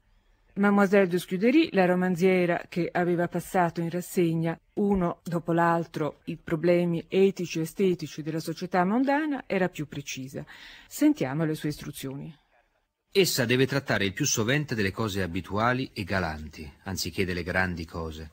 Eppure ritengo che non vi sia niente che non vi possa figurare, che debba essere libera e diversificata secondo i tempi, i luoghi e le persone con cui si trova, e che il gran segreto è di parlare sempre nobilmente delle cose basse, abbastanza semplicemente delle cose elevate e molto galantemente delle cose galanti, senza zelo e senza affettazione. Voglio anche che vi regni un certo spirito di gioia, capace di ispirare nei cuori di tutta la compagnia una disposizione a divertirsi di tutto e a non annoiarsi di niente. Voglio che si dicano delle grandi e delle piccole cose, purché le si dicano sempre bene e che, sia pur con la massima libertà, si parli soltanto di ciò di cui si deve parlare. In realtà molte erano le cose di cui non si doveva parlare. Non si doveva parlare di faccende domestiche e private perché noiose, non si doveva parlare di politica e di religione perché erano argomenti pericolosi, non si doveva parlare di sé, dei propri successi e delle proprie relazioni importanti. Ci si occupava invece dei piccoli e grandi avvenimenti che intessevano la vita mondana, ma ci si occupava anche di letteratura, di musica, di teatro, di arte, di psicologia, di morale di tutto quello che contribuiva a fare dell'ozio mondano un'arte raffinata del vivere. La descrizione che ascolteremo ora è di Père Bour, scritta intorno al 1670, ci descrive la tipologia del conversatore mondano in azione.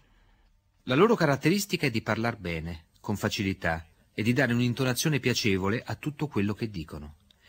Nelle riunioni fanno sempre delle battute estremamente appropriate, non mancano mai di qualche quesito sottile da proporre e di qualche storia graziosa da raccontare per avvivare la conversazione quando comincia a languire. Basta pochissimo per incoraggiarli e allora dicono mille cose sorprendenti. Specialmente nelle conversazioni giocose, essi brillano per la loro arte di scherzare con spirito e di celiare con finezza, ma se la cavano egregiamente anche nelle conversazioni serie. Non si dà argomento su cui non ragionano bene e parlano sempre con buon senso. Quest'arte dello scherzo era in realtà piena di insidie. Prendere garbatamente in giro qualcuno era la forma più delicata di complimento, di adulazione. Significava porre una persona al centro dell'attenzione e occuparsi affettuosamente di lei. Tuttavia bisognava stare molto attenti a non offendere l'amor proprio nella dignità della persona. Se stare allo scherzo era obbligatorio nel codice mondano, era anche obbligatorio difendere la propria dignità. Ascoltiamo ora la riflessione di La Rochefoucauld a proposito di questa difficile arte dello scherzo o della celia. La celia è una forma piacevole di gaiezza dello spirito, che rallegra la conversazione. Quando è accattivante è un elemento di coesione, altrimenti semina la discordia. È un veleno che allo stato puro uccide l'amicizia ed eccita l'odio, ma che corretto dalle grazie dello spirito e dall'arte dell'adulazione, la conquista e la conserva. Fin dalle origini della società mondana, uno degli argomenti favoriti era l'amore. E all'amore e alla psicologia amorosa dedica ampio spazio nei suoi romanzi Mademoiselle de Scudéry.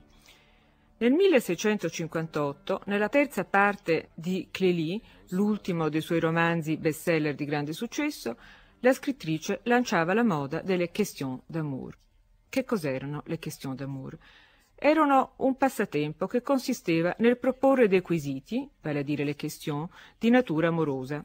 Rispondere a questi quesiti significava fare sfoggio di sottigliezza, di acume psicologico, di prontezza, di delicatezza, tutti requisiti tipici della cultura mondana. Di salotto in salotto, la moda delle question d'amour avrebbe raggiunto la casa di Madame de Sablé. La marchesa era fin da giovane una appassionata casista dell'amore. Per lei l'amore era una passione necessaria prima di tutto all'uso di mondo.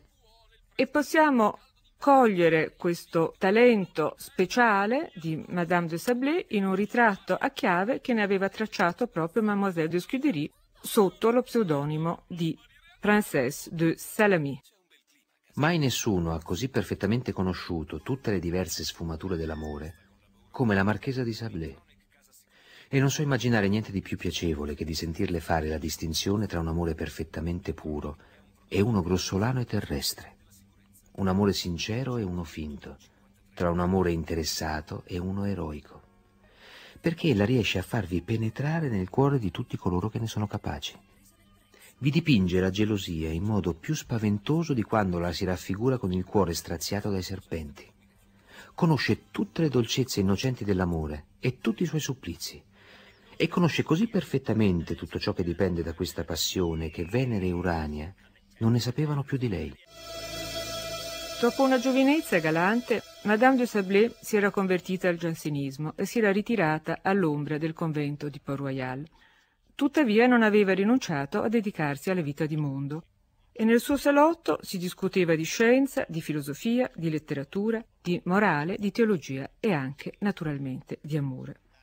Nel 1668 si dava lettura di 32 Questions sur l'amour del marchese di Surdis e delle 5 Questions d'amour della contessa di Brigitte. Per capire in cosa consistevano le Questions d'amour, ascoltiamo i cinque quesiti proposti dalla contessa di Brigitte. È meglio perdere una persona amata a causa della morte o dell'infedeltà? Una grande gelosia è segno di un grande amore? Si può amare qualcuno più di se stessi?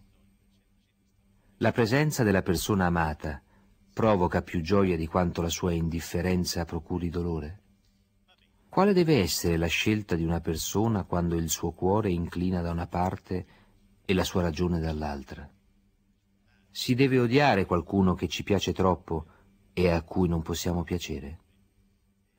È più doloroso amare una persona il cui cuore è impegnato o un'altra il cui cuore è insensibile. Il merito d'essere amati ricompensa il dispiacere di non esserlo. Le questions d'amour della contessa di Brigitte erano dedicate a Luigi XIV e avevano l'onore di ricevere una risposta del re che aveva ordinato al suo poeta Quinault di rispondere invece sua. Le questions sur l'amour del marchese di Surdis fornivano invece da spunto alle lettere portoghese di Guillerag. Si trattava di un bellissimo romanzo d'amore, un romanzo epistolare costituito da cinque lettere scritte da una religiosa portoghese a un amante che l'aveva abbandonata. Un grande critico, Leo Spitzer, ha paragonato queste cinque lettere a cinque atti di una tragedia classica. Ma un altro capolavoro sarebbe uscito dal salotto di Madame de Sablé, vale a dire le massime di La Rochefoucauld. Per alcuni anni Madame de Sablé, il duca di La Rochefoucauld e il loro amico Jacques Esprit avevano infatti lavorato a un fondo comune di sentenze, un fondo che avrebbe raccolto le loro riflessioni sull'uomo, sulla sua natura, sul suo comportamento sociale. Poi La Rochefoucauld aveva iniziato una sua strada solitaria e nel 1665 aveva pubblicato la sua raccolta di Maxime, ma anche in quell'occasione aveva chiesto a Madame de Sablé di aiutarlo nel lancio del libro e gli aveva chiesto la prima recensione. Con le questions d'amour, le maxime, le sentences, i mondani scoprivano una letteratura che privilegiava la forma breve, che indagava sull'uomo ad altezza d'uomo, che investigava sulle sue passioni, sulle sue debolezze, sulle sue anomalie. Per poter praticare questa letteratura bastava conoscere il mondo, avere penetrazione psicologica, essere esercitati nell'autoanalisi, tutte attività, attitudini tipiche dei mondani, che si sarebbero infatti cimentati con massimo diletto in questa nuova forma di letteratura. Era una letteratura che non puntava mai sull'autorità morale, era una letteratura di interrogazione che voleva piuttosto provocare e ottenere delle risposte dai suoi lettori. Il filo conduttore delle massime di La Rochefoucauld era la denunzia dell'amour propre, l'amore di sé che acceca l'uomo, che corrompe la ragione, che rende illusoria ogni virtù. Tuttavia, La Rochefoucauld rimaneva un uomo di mondo e tutte le sue massime non avevano una tonalità tragica. Per la Rochefoucauld la vita era anche commedia e molte delle sue riflessioni obbedivano al puro gioco della provocazione. Nello scrivere ad esempio quelle sull'amore, di cui ascolteremo ora alcuni esempi, certamente la Rochefoucauld si divertiva a immaginare la reazione indignata delle sue amiche e probabilmente anche di Madame de Sablé davanti ai vecchi luoghi comuni della tradizione misogina.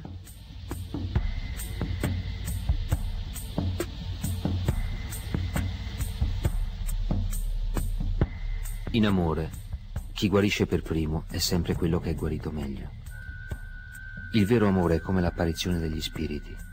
Tutti ne parlano ma pochi li hanno visti. L'austerità delle donne è un ornamento, è un belletto di cui si servono come un accessorio per la loro bellezza. Vi sono poche donne oneste che non siano stanche del loro mestiere. Il minor difetto delle donne che si sono abbandonate a fare l'amore è di fare l'amore. Per Talleyrand le conversazioni fra la Rochefoucauld, Madame de Lafayette e Madame de Sévigné dovevano essere state uno dei momenti più alti della civiltà classica. Ma la conversazione più famosa sull'amore di tutto il Seicento si tenne certamente un pomeriggio di un sabato del 1650 a casa di Mademoiselle de Scudéry. La scrittrice aveva aperto, dopo la fronda, intorno al 1652, un salotto dove riceveva eruditi, critici, poeti. A differenza del celebre salotto della sua amica Madame de Rambouillet, quello di Mademoiselle de Scudéry era un salotto letterario specializzato dove le conversazioni e i divertimenti avevano un carattere di sperimentazione letteraria. Era successo che nel corso della conversazione il critico Pélisson, più giovane di Mademoiselle de Scudéry, ma suo ammiratore e amico platonico, che si fregiava nei giochi letterari del soprannome di Account, aveva rivolto alla romanziera la domanda come diventare il suo amico del cuore come ottenere questo titolo ufficiale. E Mademoiselle de Scudéry, il cui nome letterario era quello di Saffo, aveva illustrato in modo figurato, sotto forma di viaggio, il percorso iniziatico che doveva intraprendere chiunque pretendesse a ottenere il titolo di amico del cuore. Pellisson stesso ha raccontato l'origine della più celebre delle allegorie geografiche, la famosa Carte de Tendre, la cosiddetta Carta del Tenero. La Carta del Tenero è considerata il manifesto di quella piccola schiera di donne venute alla ribalta intorno alla metà del Seicento che rispondono al nome di preziose. Essi costituiscono uno dei nodi più intricati della letteratura del Seicento. Chi erano realmente queste preziose di cui Molière farà la satira nella sua celebre commedia Le preziose ridicole. Limitiamoci a dire che le preziose erano delle donne che si davano un prezzo, vale a dire che coltivavano un'alta idea di sé e di quello che era loro dovuto e esigevano rispetto da parte dei loro contemporanei. Per la prima volta la condizione femminile diventava oggetto di una riflessione da parte delle donne. Non erano più gli uomini a interpretare, a dirigere l'altro sesso, ma erano le donne a dichiarare ad alta voce ciò che volevano e ciò che si aspettavano dagli altri. Le preziose insorgevano contro i matrimoni imposti, contro le maternità non volute, contro una sessualità incompatibile con la delicatezza e con il pudore, contro un linguaggio grossolano e irrispettoso. Non per questo bisognava rinunciare all'amore, ma l'amore doveva purificarsi, sublimarsi e assumere la forma di una amicizia delicata. Molte delle loro richieste riflettevano le esigenze della società mondana, ma le preziose, forzando le convenzioni mondane, si esponevano alla satira. Quello che ascoltiamo ora è un giudizio di Saint-Evremont, lo scrittore libertino, amico di Ninon de L'Enclos, esiliato a Londra, mette a fuoco quello che a suo giudizio è l'errore fondamentale delle preziose. Mostra come la concezione dell'amore di questo gruppo di femministe ante litteram preferisca l'astrazione alla pienezza della vita. Queste false delicate hanno tolto all'amore ciò che ha di più naturale, pensando di conferirgli qualcosa di più prezioso hanno trasferito una passione sensibile dal cuore allo spirito e convertito degli affetti in idee.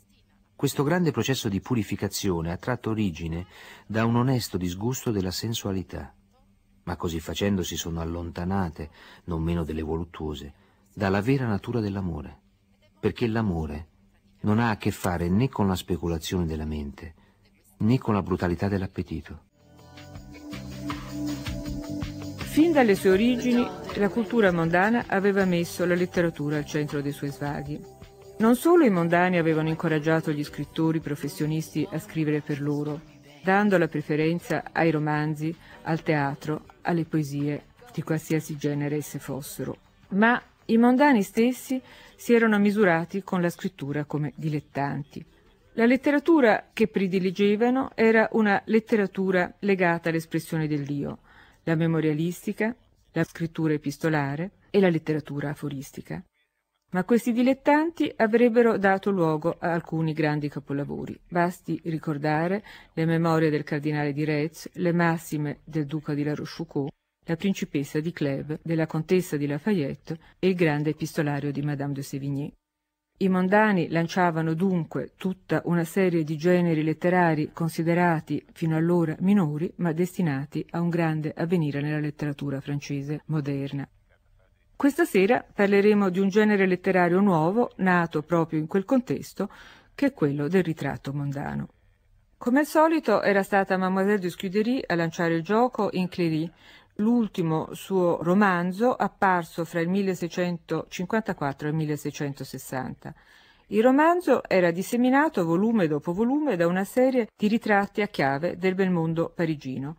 Ora, riconoscere gli originali sotto i nomi romani che avevano ispirato i ritratti era diventato un gioco collettivo di tutta la società parigina e ottenere il proprio ritratto a chiave di Clélie era diventata una ambizione diffusa. In una società così consapevole del proprio apparire, Contemplarsi nelle parole dell'altro non era soltanto un piacere narcisistico, significava verificare la propria immagine riflessa in uno specchio, verificare la capacità di interpretare il proprio personaggio. Dunque il gioco del ritratto passava dalle mani degli scrittori in quelle dei protagonisti della vita mondana. Fra gli esempi più famosi incontriamo quello della Grand Mademoiselle. Nel 1658 la cugina di Luigi XIV avrebbe giocato al gioco del ritratto con tutta la sua piccola corte di residenza in residenza e alla fine questo gioco collettivo sarebbe approdato in una raccolta, in una raccolta di 58 ritratti, la raccolta della Grand Mademoiselle per l'appunto, dove possiamo vedere rappresentati tutti i rappresentanti dell'alta società. Ma di questi 58 ritratti noi ne leggeremo uno solo, probabilmente il più bello. Il ritratto fatto da Madame de Lafayette, che aveva allora 20 anni e che non aveva ancora scritto La principessa di Clèves, a Madame de Sévigné, che ne aveva allora 34. È la sola opera firmata della grande romanziera e rappresenta Madame de Sévigné nella piena naturalezza, nella piena sapienza del suo talento mondano. La vostra presenza aumenta i divertimenti e i divertimenti aumentano la vostra bellezza quando vi fanno corona. La gioia, insomma, è la vera condizione della vostra anima e niente vi è più estraneo che l'afflizione. Quando vi animate conversando liberamente, tutto ciò che dite ha una tale seduzione e vi si addice così perfettamente che le vostre parole attirano intorno a voi le risa e le grazie. E lo sfavillio del vostro spirito conferisce una tale luminosità al vostro colorito e ai vostri occhi, che per quanto sembri che lo spirito tocchi solo l'udito, non v'è dubbio che il vostro abbaglia la vista. Siete per natura la persona più affabile e cortese del mondo. Tutto ciò che fate dà un'impressione di spontaneità e di dolcezza, e sulle vostre labbra i più semplici complimenti dettati dall'educazione paiono delle assicurazioni d'amicizia. Tutti quelli che si accomiatano da voi se ne vanno persuasi della vostra stima e della vostra benevolenza, senza potersi dire con precisione quali segni tangibili abbiate dato loro dell'una e dell'altra. Il ritratto mondano aveva come obiettivo, oltre a quello di divertire, quello di adulare, di esaltare, di mettere in valore la persona ritrattata, ma poteva anche avere gli obiettivi opposti poteva denigrare, ridicolizzare, smascherare.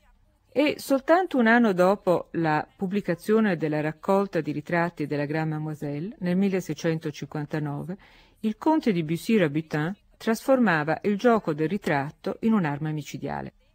Bussy-Rabutin si divertiva a fare il ritratto a chiave di una serie di dame del mondo di cui denunciava gli amori, le ipocrisie e i vizi. Fra questi ritratti, che verranno pubblicati poi sotto il nome di Storia della Gallia Galante. Fra questi ritratti vi era anche il ritratto di sua cugina, Madame de Sévigné. All'origine di questo ritratto vi era un vecchio regolamento di conti. Bussy provava per Madame de Sévigné un rancore sopito ma mai dimenticato per un prestito mancato. E Bussy eh, Rabutin decideva di vendicarsi attaccando la cugina su due punti in cui Madame de Sévigné appariva in realtà inattaccabile, lo spirito e la virtù. Non vi è donna in Francia che abbia più spirito, e pochissime che ne hanno quanto lei. È vivace e divertente. C'è chi dice che per essere una donna di qualità indulge un po' troppo allo scherzo. All'epoca in cui la vedevo questo giudizio mi pareva un po' ridicolo ed ammiravo la sua verve burlesca, pensando che fosse allegria. Ma oggi che ho smesso di vederla e che il suo grande fuoco non mi abbaglia più, concordo sul fatto che vuole essere troppo divertente.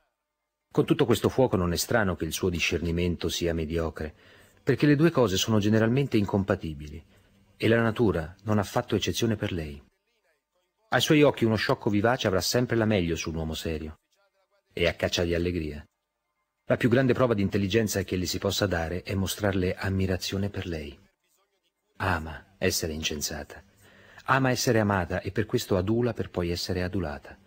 E le sue preferenze vanno agli uomini, quale che sia la loro età, la loro nascita, il loro merito, la loro professione. Le va tutto bene, dal manto reale alla tonaca, dallo scettro al calamaio. Il suo defunto marito diceva che tutto il suo ardore era di testa e che invece i suoi sensi erano freddi, nella qual cosa vedeva una garanzia di virtù. E in verità, se ci si riferisce alle azioni, la fede coniugale non è stata effettivamente violata. Ma se si considerano le intenzioni, l'affare cambia. Per essere franchi, credo che suo marito se l'è cavata agli occhi degli uomini, ma che sia cornuto davanti a Dio. Dopo aver circolato manoscritto insieme a una serie di altri ritratti che smascheravano vizi e difetti delle dame del gran mondo, si arrivava a un'edizione pirata della raccolta di Bussy Rabutin sotto il titolo di Storia amorosa delle Gallie.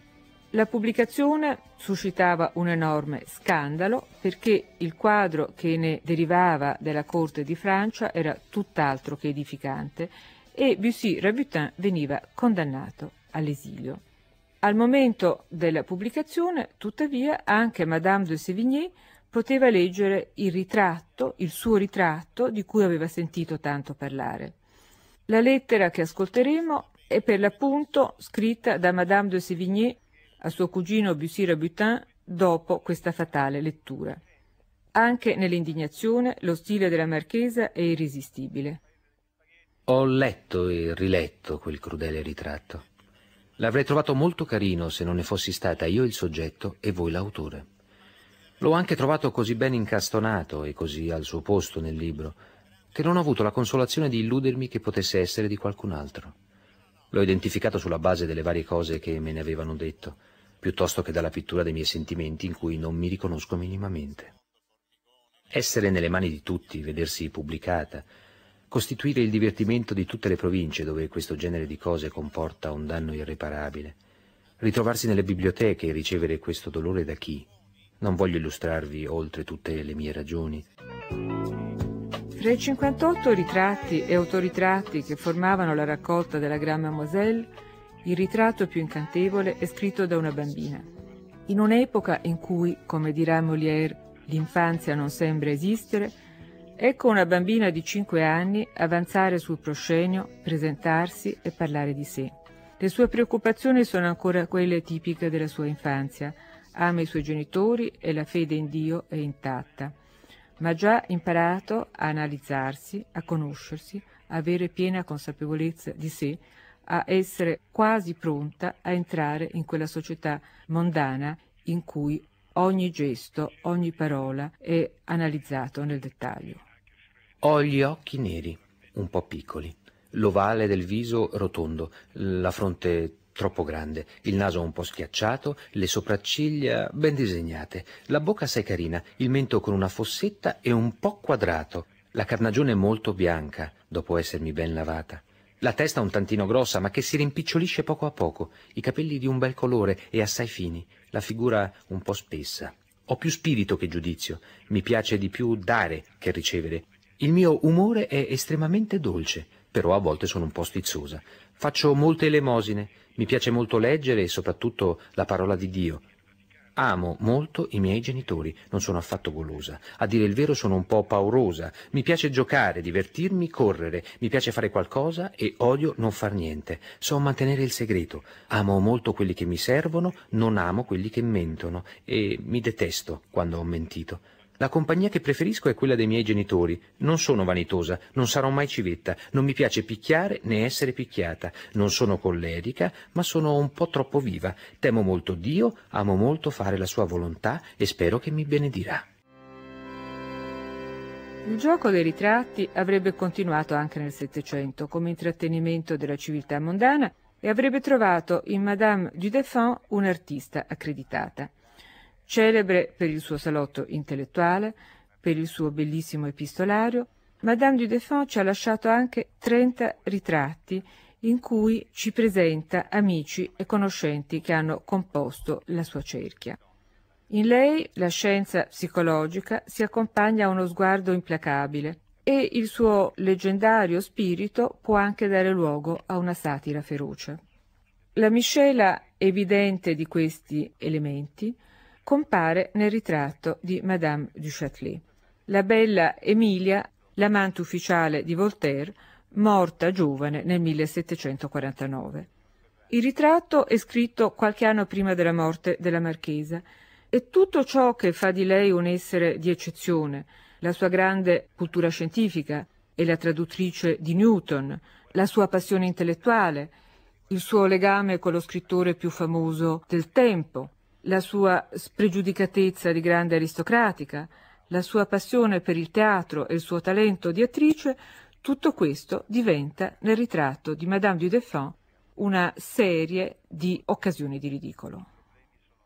Immaginatevi una donna alta e secca, col colorito acceso, il viso affilato, il naso appuntito, ecco l'aspetto della belle Émilie aspetto di cui lei è così soddisfatta che non trascura niente per metterlo in risalto. Ricci, pompon, bigiotterie di pietre e di vetro, tutto a profusione. Ma poiché vuole essere bella a dispetto della natura e vuole essere magnifica a dispetto della fortuna, è costretta per procurarsi il superfluo a rinunciare al necessario, come le camicie e le altre inezie. È provvista di un certo spirito, il desiderio di farne maggior sfoggio le ha fatto preferire lo studio delle scienze più astratte alle materie più piacevoli. Pensa che questa singolarità le procuri una reputazione maggiore e una netta superiorità su tutte le donne. Non si è limitata a questa ambizione. Ha voluto essere principessa e lo è diventata non per grazia di Dio o per quella del re, ma per grazia propria. Questa ridicola mania le è passata come le altre ci si è abituati a considerarla come una principessa di teatro e ci si è quasi dimenticati che si tratta di una donna di rango. Madame è così intenta a sembrare quello che non è, che non si sa più quello che è veramente. Non le sono naturali forse neanche i difetti. Potrebbero dipendere dalle sue pretese, la mancanza di riguardi dalla sua condizione di principessa, l'aridità da quella di studiosa e la stolidezza da quella di bella donna. Per quanto celebre Madame du Châtelet non si reputerebbe soddisfatta se non venisse celebrata ed ha ottenuto anche questo diventando l'amica ufficiale di Voltaire. È lui a dare lustro alla sua vita ed è a lui che dovrà l'immortalità. Non meno feroce è il ritratto che di Madame du Deffand farà sua nipote, Julie de l'Espinasse, che dopo un legame simbiotico di dieci anni verrà cacciata senza pietà dalla casa di sua zia per dei motivi di gelosia, di rivalità mondana. Tutto l'acume psicologico lo spirito di osservazione di Mademoiselle de l'Espinasse è qui al servizio di una feroce resa dei conti. Ascoltando questo testo possiamo constatare come l'arte mondana insegnasse a odiare con la stessa eleganza, con lo stesso stile con cui ci si sforzava di piacere. Fra le diverse qualità gradevoli del suo spirito, ve n'è una fondamentale, essenziale per piacere tuttavia assai rara quella di essere spontanea e naturale. Non può sopportare l'affettazione, di qualsiasi genere essa sia. È sensibilissima al ridicolo che avverte e dipinge con molta efficacia. Non è gelosa né delle attrattive né dello spirito degli altri, ma soltanto delle preferenze e delle attenzioni che non perdona, né a coloro che le danno, né a coloro che le ricevono. Sembra dire a tutti i suoi conoscenti, come Gesù ai suoi discepoli, vendete tutto quello che avete e seguitemi. È più difficile essere in pace con lei che con Dio. Un peccato veniale annulla in un attimo il merito di parecchi anni di premure. Questa è Madame du Teffan. Il suo spirito deve far desiderare di conoscerla, la fa ricercare, ed è solo al suo spirito che deve il genere di considerazione di cui gode. La conoscenza del suo carattere fa sì che ci si allontani da lei e impedisca che ci si affezioni. Sconsiderata, indiscreta, egoista, abbietta con quelli che sono al di sopra di lei, abbastanza giusta con gli inferiori, insopportabile e tirannica con i suoi eguali. Così non può illudersi di avere un vero amico fra tutte le sue numerosissime conoscenze. Ed è piena di spirito e di prevenzioni, capricciosa e ingiusta. In conclusione, Madame du Deffin è una bambina cattiva che tuttavia non è stata per nulla viziata. È il suo carattere che ha fatto l'infelicità della sua vita. Fra le tante dame francesi del Settecento che hanno brillato per cultura, spirito, intelligenza, certamente Marie de Vichy, marchesa du Deffin, viene per prima. È a lei e alla sua amicizia con Voltaire che dedicheremo la trasmissione di questa sera, perché è nel loro scambio epistolare che la conversazione dei lumi raggiunge uno dei suoi momenti più intensi. Dopo una giovinezza spregiudicata e galante, Madame du Deffin aveva aperto un salotto, frequentato dalla più grande aristocrazia del suo tempo, da intellettuali, artisti e visitatori stranieri importanti. La grande attrattiva del salotto era innanzitutto la padrona di casa, ed è in una lettera di un suo amico, il marchese du Châtel, che possiamo cogliere l'impressione viva della seduzione mondana di Madame du Deffin in azione. Siete fatta per cogliere la natura di slancio e come la natura siete atta a creare. Voi siete incapace di imitare. Se si trattasse di eseguire delle commedie improvvisando, allora sì che bisognerebbe rivolgersi a voi. Ho provato spesso questo piacere accanto al vostro caminetto. Lì siete mirabile. Che varietà, che contrasto nel sentimento, nel carattere, nel modo di pensare, che innocenza, che forza e che precisione pur nella passione. Non manca niente. C'è da diventare pazzo di piacere, d'attesa e di ammirazione. Siete impagabile per uno spettatore filosofo. 25 anni dopo sarà la figlia del marchese du Châtel la duchessa di Choiseul, moglie del potentissimo ministro di Luigi XV, a esprimere a Madame du Deffin tutta la sua ammirazione. Quella che sentiamo è una lettera del 1767. È impossibile avere più spirito di voi e di averlo più costante, più spontaneo, più pronto. Avere più immaginazione, fuoco, forza, grazia di quante ne avete voi. Dicendo forza e grazia si dice la stessa cosa, perché è la forza a conferire la naturalezza e la naturalezza a conferire la pertinenza, la precisione, la giusta misura. Il mio desiderio più vero e più caro sarebbe di passare con voi la sera di questa giornata tempestosa che chiamano vita.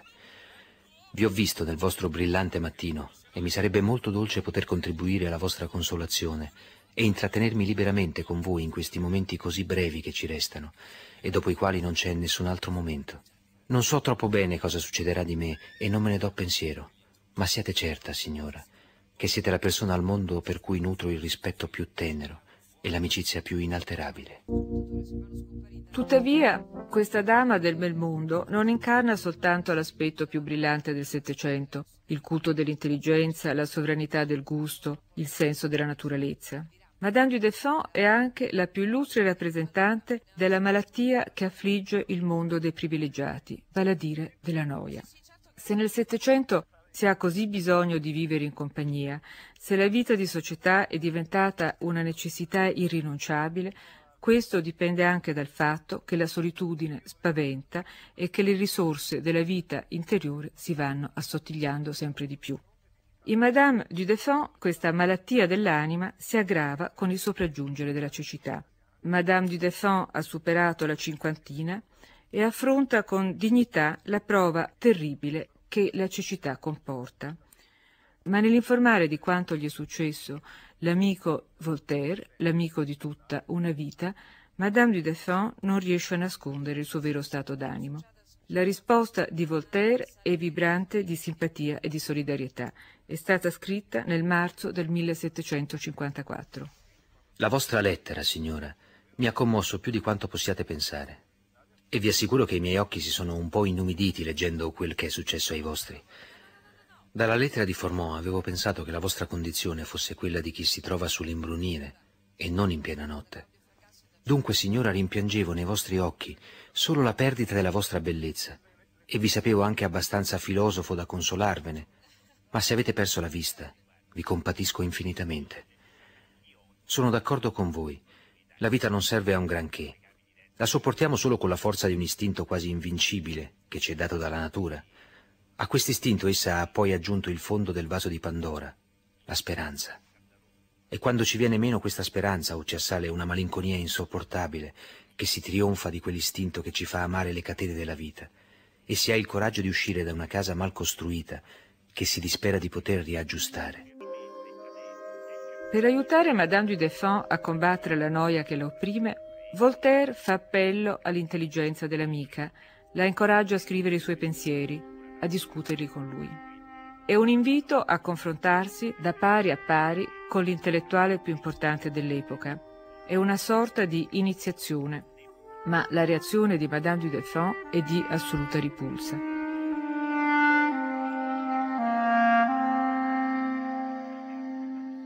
Mi dite che volete che vi faccia partecipe delle mie riflessioni. Signore, cosa mai mi chiedete? Esse si limitano a una sola, e assai triste, che a veder bene esiste una sola disgrazia nella vita quella di essere nati. Non c'è condizione, quale che possa essere, che mi paia preferibile al niente. E voi stesso che siete Voltaire, nome che racchiude ogni possibile felicità, reputazione, considerazione, celebrità, tutti gli antidoti contro la noia, che trovate in voi ogni possibile risorsa, una filosofia ben intesa, che vi ha fatto prevedere che in vecchiaia il benessere era necessario. Ebbene, Signore, nonostante tutti questi vantaggi, meglio sarebbe non essere nati, perché bisogna morire, perché se ne ha la certezza e perché la natura vi ripugna. La negatività di Madame du Deffand è così assoluta da costringere Voltaire a darle delle risposte sul destino esistenziale dell'uomo fra le più precise di tutta la sua opera. Il tono della lettera che stiamo per ascoltare è giocoso e mondano, ma il contenuto è altamente drammatico. Conosco solo Giuda, di cui si sia detto che meglio sarebbe stato per lui di non essere nato. Ed è il Vangelo a dirlo. Mecenate e La Fontaine hanno detto tutto il contrario. Meglio vale soffrire che morire. È questo il motto degli uomini. Non che il nulla non abbia qualcosa di buono, ma io credo che sia impossibile amare veramente il nulla, nonostante le sue buone qualità. Quanto alla morte ragioniamo un po', ve ne prego. È assolutamente certo che non la si sente affatto. Non è un momento doloroso. Somiglia al sonno come due gocce d'acqua. È soltanto l'idea di non svegliarsi più che dà dolore. Orribile è l'apparato della morte, è la barbarie dell'estrema unzione, è la crudeltà di avvertirci che per noi tutto è finito. A che scopo venire a pronunziare la nostra sentenza? Sarà eseguita anche senza che si intromettano notai e preti. Bisogna scrivere per tempo il proprio testamento e poi non pensarci più. Si dice qualche volta di un uomo che è morto come un cane, ma veramente un cane è fortunatissimo di morire senza quell'abominevole armamentario con cui si perseguita l'ultimo momento della nostra vita. Se avessero un po' di carità per noi, ci lascerebbero morire senza dirci niente. Il solo piacere della vita a Ginevra è che vi si può morire come si vuole. Molte persone da bene non chiamano affatto i preti. Se uno vuole si ammazza, senza che nessuno ci trovi niente da ridire, oppure si aspetta il momento senza che nessuno ti dia noia. Il razionalismo di Voltaire, il suo rifiuto di ogni metafisica non convincono Madame du Deffand, che nella lettera di risposta che ascolteremo ribadisce il suo mare di vivere sotto il segno angoscioso della morte. Un altro punto della mia lettera che avete inteso male è dove vi dicevo che la più grande di tutte le disgrazie è di essere nati. Sono persuasa di questa verità, che non vale soltanto per Giuda, Giobbe e me, ma anche per voi, ma anche per la defunta Madame de Pompadour, per tutti quelli che sono stati, per tutti quelli che sono e per tutti quelli che saranno. Vivere senza amare la vita non ne fa desiderare la fine e non diminuisce nemmeno il timore di perderla. Voi non sapete, e non potete saperlo personalmente, quale sia la condizione di chi pensa, riflette, svolge qualche attività ed è al tempo stesso senza talento, senza passione, senza occupazione, senza svago, di chi ha avuto degli amici e li ha persi senza poterli sostituire. Aggiungete a questo una certa sensibilità nel gusto, un po' di discernimento, molto amore per la verità. Cavate gli occhi a queste persone e mettetele nel centro di Parigi, di Pechino, insomma dove volete voi, e vi assicuro che sarebbe meglio per loro non essere nati. Tutti i mali fisici, per quanto grandi essi siano, ad eccezione delle sofferenze, rattristano e abbattono l'animo meno del dispiacere che ci viene dal contatto e dalla compagnia degli uomini. Vi sorprenderei se vi confessassi che di tutte le mie pene la cecità e la vecchiaia sono le minori. Forse ne dedurrete che non ho una testa che funziona, ma non datene la colpa a me, se non volete cadere in contraddizione con voi stesso. Mi avete scritto, in una delle vostre ultime lettere, che non siamo padroni dei nostri affetti, dei nostri sentimenti, delle nostre azioni, del nostro contegno, del nostro modo di camminare, più di quanto non lo siamo dei nostri sogni. Avete ragione, e niente è così vero. Che conclusione trarre da tutto questo? Niente, e mille volte niente. Bisogna finire la propria carriera vegetando quanto più è possibile. Abbiate cura della vostra salute, Signore. Mi sembra che siate felice. Addolcite le mie disgrazie con l'assicurarmi della vostra amicizia e col piacere che mi procurano le vostre lettere. Quello che si è instaurato fra Madame du Deffand e Voltaire è un vero e proprio dialogo filosofico a stretto giro di posta. Una settimana dopo, il 29 maggio 1764, il patriarca dei Lumi, deponendo le sue molteplici maschere e venendo allo scoperto, espone all'amica il suo modo di affrontare la vita, di accettare la morte e soprattutto il suo senso della dignità umana. Mi fate una grandissima pena, signora, perché le vostre tristi idee non sono solo il frutto del ragionare, ma anche del sentire. Sono d'accordo con voi che il nulla è, parlando in generale, preferibile alla vita. Il nulla ha del buono. Consoliamoci, lo saggeremo. È ben chiaro che dopo la nostra morte torneremo a essere quello che eravamo prima di nascere, ma che ne faremo dei due o tre minuti della nostra esistenza? Siamo piccole ruote della grande macchina, piccoli animali con due piedi e due mani, come le scimmie, meno agili di loro, altrettanto comici e con un'ampiezza di idee più vasta. Obbediamo tutti al movimento generale impresso dalla natura.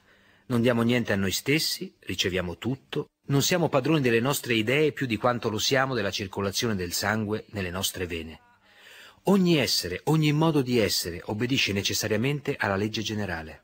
È ridicolo, è impossibile che l'uomo si dia qualche cosa, quando la folla degli astri non lo può, e che fossimo liberi nel senso dei teologi quando l'universo è schiavo. Una condizione proprio da cani, direte voi. Io soffro, mi dibatto contro la mia esistenza, che maledico e che amo. Odio la vita e la morte, chi mi consolerà?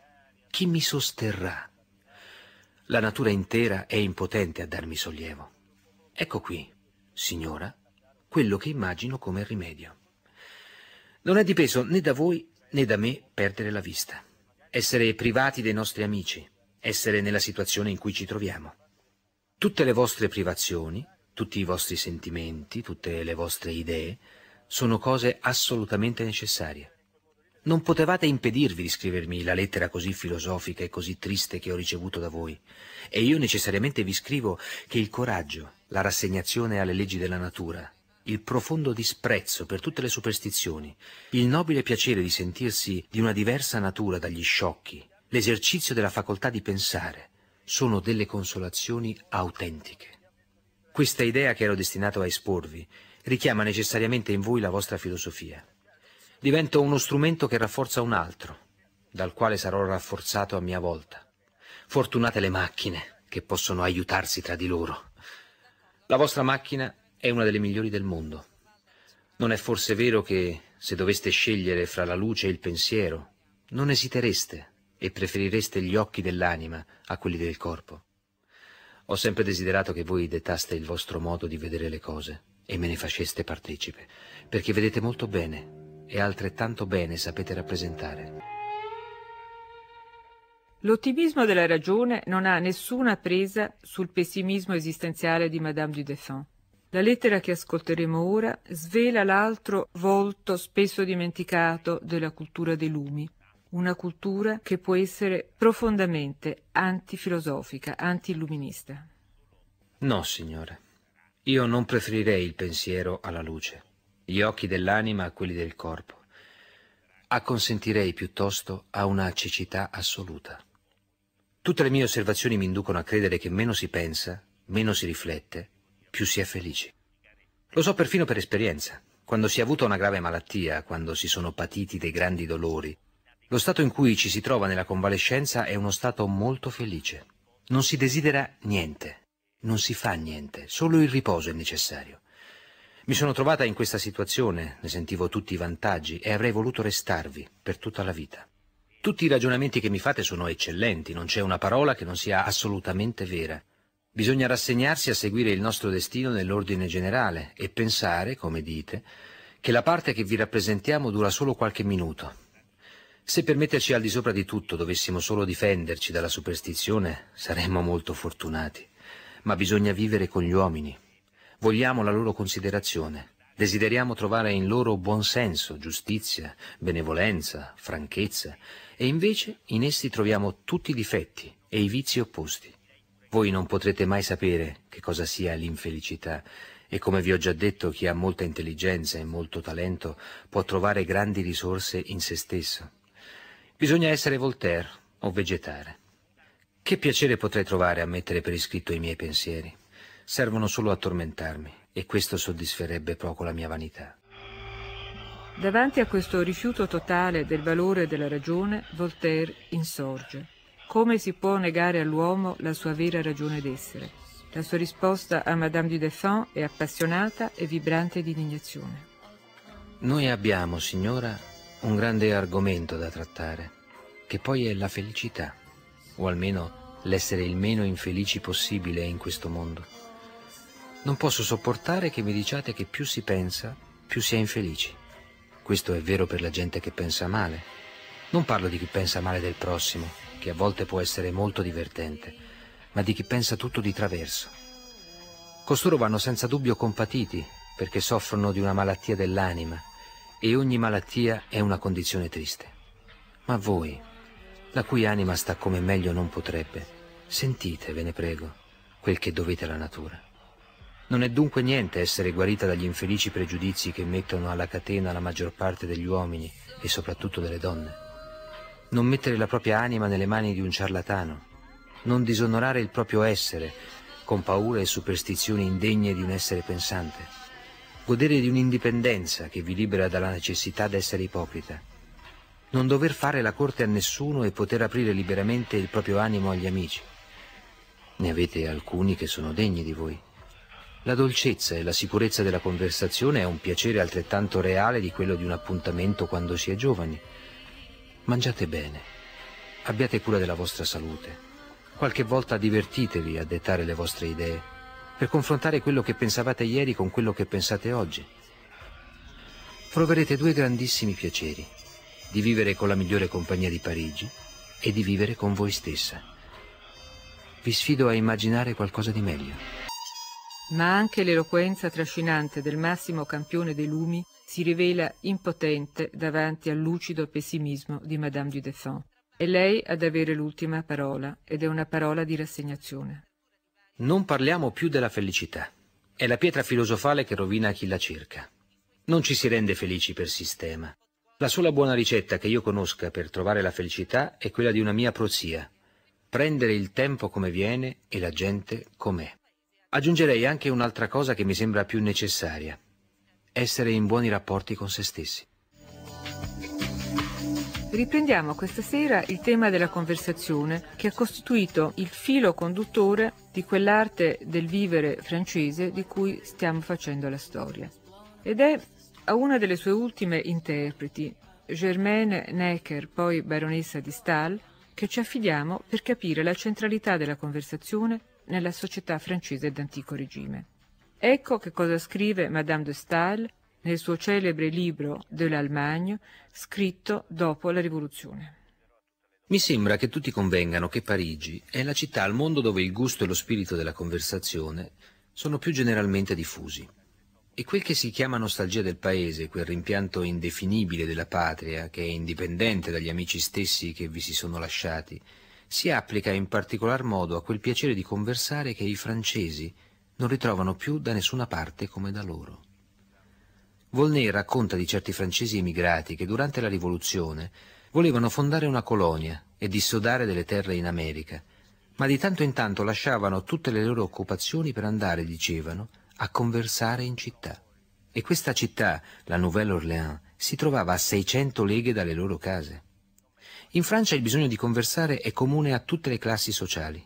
Qui la parola non è, come altrove, soltanto un mezzo per comunicarsi idee, sentimenti, affari. È uno strumento che la gente ama suonare e che rianima gli spiriti, come fa la musica per taluni popoli e i liquori forti per qualche altro. Erano ormai passati due secoli da quando la civiltà della conversazione aveva preso l'avvio nell'Hôtel de Rambouillet. Da allora, generazione dopo generazione, i protagonisti stessi di quest'arte avevano fatto a gara per definirla. Il primo imperativo essenziale, lo ricordiamo, era mettersi in sintonia con l'interlocutore, intuirne il pensiero per meglio sedurlo. Ed è Madame de Sévigné, la regina della conversazione epistolare, a dirci quanto grande fosse questo piacere in una lettera al cugino Bussy Rabutin del maggio 1672. Sapete bene, signor Conte, che una volta avevamo il dono di capirci prima ancora di aver parlato. Ciascuno dei due rispondeva perfettamente a ciò che l'altro aveva voglia di dire. E se non avessimo voluto concederci il piacere di pronunziare con una certa facilità delle parole, la nostra intelligenza reciproca avrebbe quasi tenuto luogo di conversazione. Quando ci si è capiti così bene, non si può mai diventare pesanti. Per me è davvero una bella cosa capire al volo. È segno di una vivacità gradevole e di cui l'amor proprio è infinitamente grato. Monsieur de la Rochefoucauld dice il vero nelle sue maxime. Amiamo di più coloro che ci capiscono bene che quelli che si fanno ascoltare. Dobbiamo amarci nello stesso modo per esserci sempre così intesi. Per essere pienamente convincente, la conversazione doveva però tener conto anche dell'efficacia dello sguardo, dei gesti, dell'espressione del viso e naturalmente del tono, della musicalità della voce. Ecco come il Cavaliere di Meret lodava la straordinaria musicalità della voce della sua amica Madame de Lesdiguières in una lettera a lei indirizzata datata intorno al 1650. Ciò che mi piace ed ammiro quando vi lanciate in un discorso senza interrompervi è il vostro modo di incominciare sempre con il tono che più si conviene per farvi capire, di mutarlo a seconda delle cose che dovete dire e di trovare al momento giusto l'espressione migliore e la perfetta concatenazione delle parole. Di sorta che mai niente fu concertato in maniera più gradevole di tutto ciò che si nota nei vostri discorsi. Questa differenza di tono non dipende tanto dal modo di alzare o abbassare la voce, quanto dal servirsene in una maniera impercettibile, eppure conforme a ciò che avviene nel cuore. Bisogna sapere molto bene ciò che si conviene per servirsi di queste intonazioni con la grazia necessaria. Questa scienza è complessa e sono poche le persone che l'hanno imparata alla perfezione. Essa dipende dal gusto, dall'intelligenza, o piuttosto da una giustezza di sentimenti senza la quale non si potrebbe essere buoni attori in questo mondo. Ma già un illustre amico di Meret, Blaise Pascal, che aveva avuto esperienza della vita mondana prima di ritirarsi a Port-Royal, pur riconoscendo la funzione cognitiva della conversazione, ne denunziava al tempo stesso il potere altamente corruttore. Ci si forma l'intelletto e il sentimento con le conversazioni. Ci si rovina l'intelletto e il sentimento con le conversazioni. Così le buone o le cattive li formano o li rovinano. È dunque estremamente importante saper scegliere bene per formarli e per non rovinarli. Ma non si può fare questa scelta se non li si ha già formati e non rovinati. Così questo forma un cerchio da cui sono fortunati quelli che ne escono. Non era solo in nome dei valori religiosi che la conversazione mondana veniva messa sotto accusa.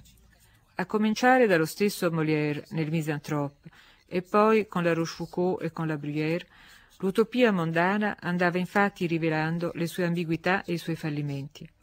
Nel suo celebre romanzo I turbamenti del cuore e dello spirito del 1736, Crébillon fils denunziava per bocca del libertino Versac il carattere profondamente inautentico della società mondana dei tempi della reggenza. Dovete imparare a dissimulare così perfettamente il vostro carattere da rendere vano ogni tentativo di indovinarlo. Bisogna inoltre che aggiungiate all'arte di ingannare gli altri quella di penetrare i loro segreti che cerchiate sempre di scoprire ciò che realmente sono, al di là di quello che vogliono sembrarvi. Spesso è meglio dare una cattiva opinione della nostra intelligenza che rivelarne la piena portata, nascondere sotto un'aria sbadata e stolida l'inclinazione che vi porta a riflettere e sacrificare l'amicizia all'interesse. È avendo l'aria di lasciarsi andare all'impertinenza che non sfugge niente di quella degli altri. Disprezzo il bon ton del bel mondo, ma l'ho adottato. Dovete esservi accorto che non oso parlare con nessuno come sto facendo con voi. E se vi ho pregato di mantenere su tutto ciò che vi dirò un segreto inviolabile, è perché è di estrema importanza per me che non si sappia chi io sia e fino a che punto mi travesta. Vi consiglio ancora una volta di imitarmi, senza questa condiscendenza non acquisirete che la reputazione di una persona dura e inadatta alla vita di società. Più vi rifiuterete di prestarvi alle stravaganze, più si affretteranno ad attribuirvene. Non sono il solo ad essermi accorto che per non passare per ridicolo bisogna diventarlo, o almeno sembrarlo ma a sferrare l'attacco più micidiale contro la conversazione mondana giunta al culmine del suo splendore a metà del Settecento sarebbe stato Jean-Jacques Rousseau nella Nouvelle Héloïse. Ascoltiamo una lettera del protagonista Saint-Preux a Julie, rimasta in Svizzera. A tutta prima si rimane incantati dinanzi al sapere e dalla ragionevolezza che contraddistinguono i discorsi, non solo dei dotti e dei letterati, ma degli uomini di tutte le condizioni e persino delle donne. Il tono della conversazione è disinvolto e naturale, non è né pesante né frivolo. È colto senza pedanteria, gaio senza frastuono, cortese senza affettazione, galante senza melensagine, scherzoso senza equivoci. Non c'è posto né per dissertazioni né per epigrammi. Vi si ragiona senza argomentare. Vi si scherza senza giochi di parole, vi si calibrano con arte lo spirito e la ragione, le massime e le battute, la satira spinta, l'adulazione accorta e la morale austera. Si parla di tutto, perché ciascuno abbia qualcosa da dire. Non si approfondiscono gli argomenti per paura di annoiare, si tratta con rapidità, la precisione porta all'eleganza. Ciascuno dice il suo parere e lo spiega in poche parole. Nessuno attacca con foga quello degli altri, si discute per fare chiarezza, ci si ferma prima di arrivare alla disputa.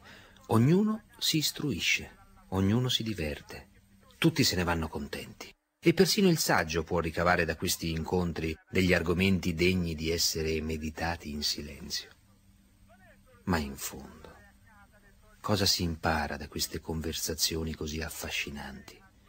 A giudicare giustamente delle cose del mondo? A fare buon uso della società, a conoscere almeno la gente con cui viviamo? Niente di tutto questo, mia Julie. Vi si impara a perorare con arte la causa della menzogna, a scardinare a forza di filosofia tutti i fondamenti della virtù, a giustificare con sottili sofismi le proprie passioni e i propri pregiudizi. Così gli uomini a cui si parla non sono quelli con cui si conversa, i loro sentimenti non sgorgano dal loro cuore, i loro lumi non provengono dal loro intelletto, i loro discorsi non rispecchiano i loro pensieri. La sola cosa che è possibile cogliere è il loro aspetto esteriore. E quando li si vede in una riunione, si ha l'impressione di trovarsi davanti a uno spettacolo di marionette, il cui spettatore, per quanto fermo, è l'unico a muoversi da sé. Ma l'autocritica dei mondani poteva essere molto più spietata delle accuse dei moralisti, perché non proponeva alternative possibili. Per Madame du Deffand non vi era supplizio peggiore che essere lasciata in compagnia di se stessa, e persino la compagnia degli automi le sembrava preferibile alla solitudine. Ammiravo ieri sera la numerosa compagnia riunita a casa mia. Uomini e donne mi sembravano automi che andavano, venivano, parlavano, ridevano senza pensare, senza riflettere, senza sentire. Ciascuno recitava la propria parte per abitudine. La duchessa d'Aguillon scoppiava da ridere. Madame de Forcalquier disdegnava ogni cosa. Madame de Lavalier ci calava su tutto. Gli uomini non recitavano parti migliori e io ero sprofondata nelle più nere riflessioni. Pensavo che avevo passato la vita nelle illusioni, che mi ero scavata io stessa tutti i baratri in cui ero sprofondata, che tutti i miei giudizi erano stati falsi e temerari e sempre troppo avventati e infine che non avevo veramente conosciuto a fondo nessuno e che nessuno aveva veramente conosciuto me e che forse non mi conoscevo io stessa. Anche la trasmissione di questa sera avrà come filo conduttore quello della conversazione. Vedremo come quest'arte della parola fra uguali, al cuore della società aristocratica francese d'antico regime, contribuirà in modo sostanziale alla fine di questa società e all'avvento della rivoluzione francese. Nonostante le accuse di fatuità, di leggerezza, di strategia di dominio, la conversazione mondana continuava nel Settecento la sua marcia gloriosa. Ancora vent'anni prima della Rivoluzione francese, Madame Necker, padrona di casa dell'ultimo grande salotto intellettuale francese prima del 1789, ne ricorderà le regole essenziali. Il governo di una conversazione assomiglia molto a quello di uno Stato. Bisogna che ci si accorga appena dell'autorità che la guida. Chi è in carica dell'amministrazione e la padrona di casa non devono mai immischiarsi delle cose che funzionano da sole, ma evitare i guai e gli inconvenienti che insorgono via via sul cammino, allontanare gli ostacoli, rianimare le situazioni nei momenti di stanchezza. Una padrona di casa deve impedire che la conversazione diventi noiosa, sgradevole o pericolosa, ma non deve fare niente fin tanto che la spinta iniziale è sufficiente e non ha bisogno di venir rinnovata. Accelerare troppo è essere d'intralcio. Ma con l'avvento dei lumi la conversazione cambiava di segno. Per i filosofi la parola non poteva essere solo al servizio del divertimento e degli svaghi di una società di privilegiati. La parola si poneva al servizio della verità, al servizio della ragione, doveva interessarsi del bene pubblico e doveva collaborare alla coesione sociale. E in questa prospettiva, in questa nuova presa di coscienza della funzione e dell'importanza della parola, che Charles Pinot Duclos, in un saggio sui costumi pubblicato nel 1751, distingueva l'uomo socievole dall'uomo amabile. E mentre l'uomo amabile veniva fatto oggetto di una critica pressante, l'uomo socievole diventava il modello di comportamento per tutta la società. L'uomo socievole possiede le qualità proprie della vita di società, l'educazione senza falsità, la franchezza senza rozzezza, la cortesia senza bassezza, la compiacenza senza adulazione, i riguardi senza costrizione e soprattutto l'inclinazione del cuore a fare il bene. Così l'uomo socievole è il cittadino per eccellenza. L'uomo amabile, invece, o almeno colui a cui si dà questo appellativo, è estremamente indifferente al bene pubblico, arde dal desiderio di piacere a tutte le compagnie in cui si imbatte, condottovi dal gusto e dal caso, ed è pronto a sacrificare ad esse chiunque. Non ama nessuno e nessuno lo ama. Piace a tutti ed è disprezzato e ricercato dalle stesse persone. Per un contrasto abbastanza bizzarro, sempre occupato degli altri è soddisfatto solo di sé e fa dipendere la sua felicità dalla loro opinione, senza preoccuparsi della loro stima, che evidentemente dà per scontata, o di cui ignora la natura. Man mano che il Settecento avanza, la conversazione mondana diventa il veicolo principale della diffusione del pensiero dei lumi nell'alta società. I mondani si mostrano straordinariamente curiosi, avidi di novità, si appassionano al dibattito intellettuale si interessano di scienza, di economia, di politica, di religione e naturalmente di filosofia. Nel settembre del 1765, in visita a Parigi, lo scrittore inglese Horace Walpole, che non fa mistero delle sue convinzioni politiche conservatrici, rimane fortemente scandalizzato dalla libertà dei discorsi che si tengono nei salotti parigini. I francesi ostentano la filosofia, la letteratura e il libero pensiero. Il libero pensiero riguarda solo noi stessi e certamente non è fatto per essere sbandierato in società. Ho appena pranzato con una dozzina di letterati e, nonostante la presenza dei domestici che servivano, la conversazione, anche quella riguardante l'Antico Testamento, è stata molto più libera di quanto avrei tollerata a casa mia in Inghilterra, foss'anche alla presenza di un solo servitore. Il riso è passato di moda, come i burattini e le trottole. Povera gente. Non hanno il tempo di ridere.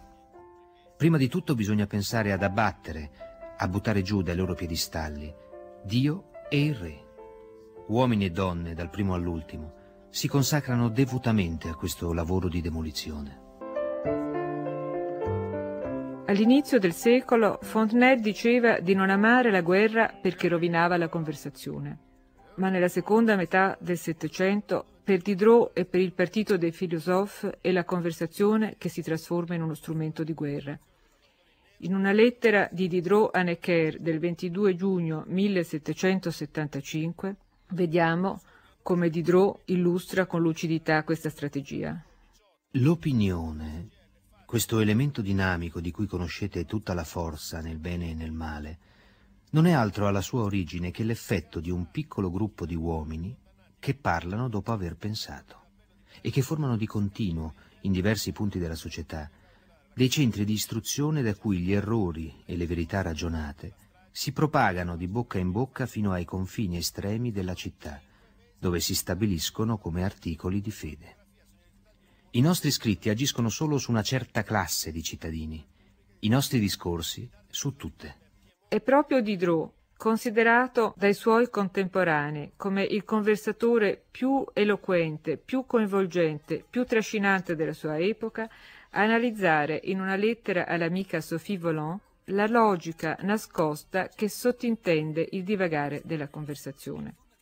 Datata 20 luglio 1760, la lettera che ascoltiamo descrive le chiacchiere intorno al camino che si tengono nella casa di campagna del barone Dolbach, uno dei protagonisti del movimento dei lumi.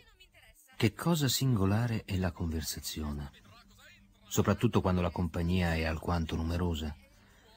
Guardate i circuiti che abbiamo fatto. I sogni di un malato in preda al delirio non sono più inusitati. Eppure, visto che non vi è niente di sconnesso né nella mente di un uomo che sogna, né in quella di un pazzo, anche nella conversazione tutto ha una sua logica. Ma talvolta sarebbe assai difficile ritrovare i legami impercettibili tra idee così disparate. Un uomo lancia una parola estrapolandola dal suo contesto quale l'aveva pensato, un altro fa altrettanto, e via dicendo. Una sola qualità fisica può portare la mente che la evoca a un'infinità di cose diverse. Prendiamo un colore, il giallo, per esempio. L'oro è giallo. La seta è gialla, la preoccupazione è gialla, la bile è gialla, la paglia è gialla. A quanti altri fili può ricondurre questo filo?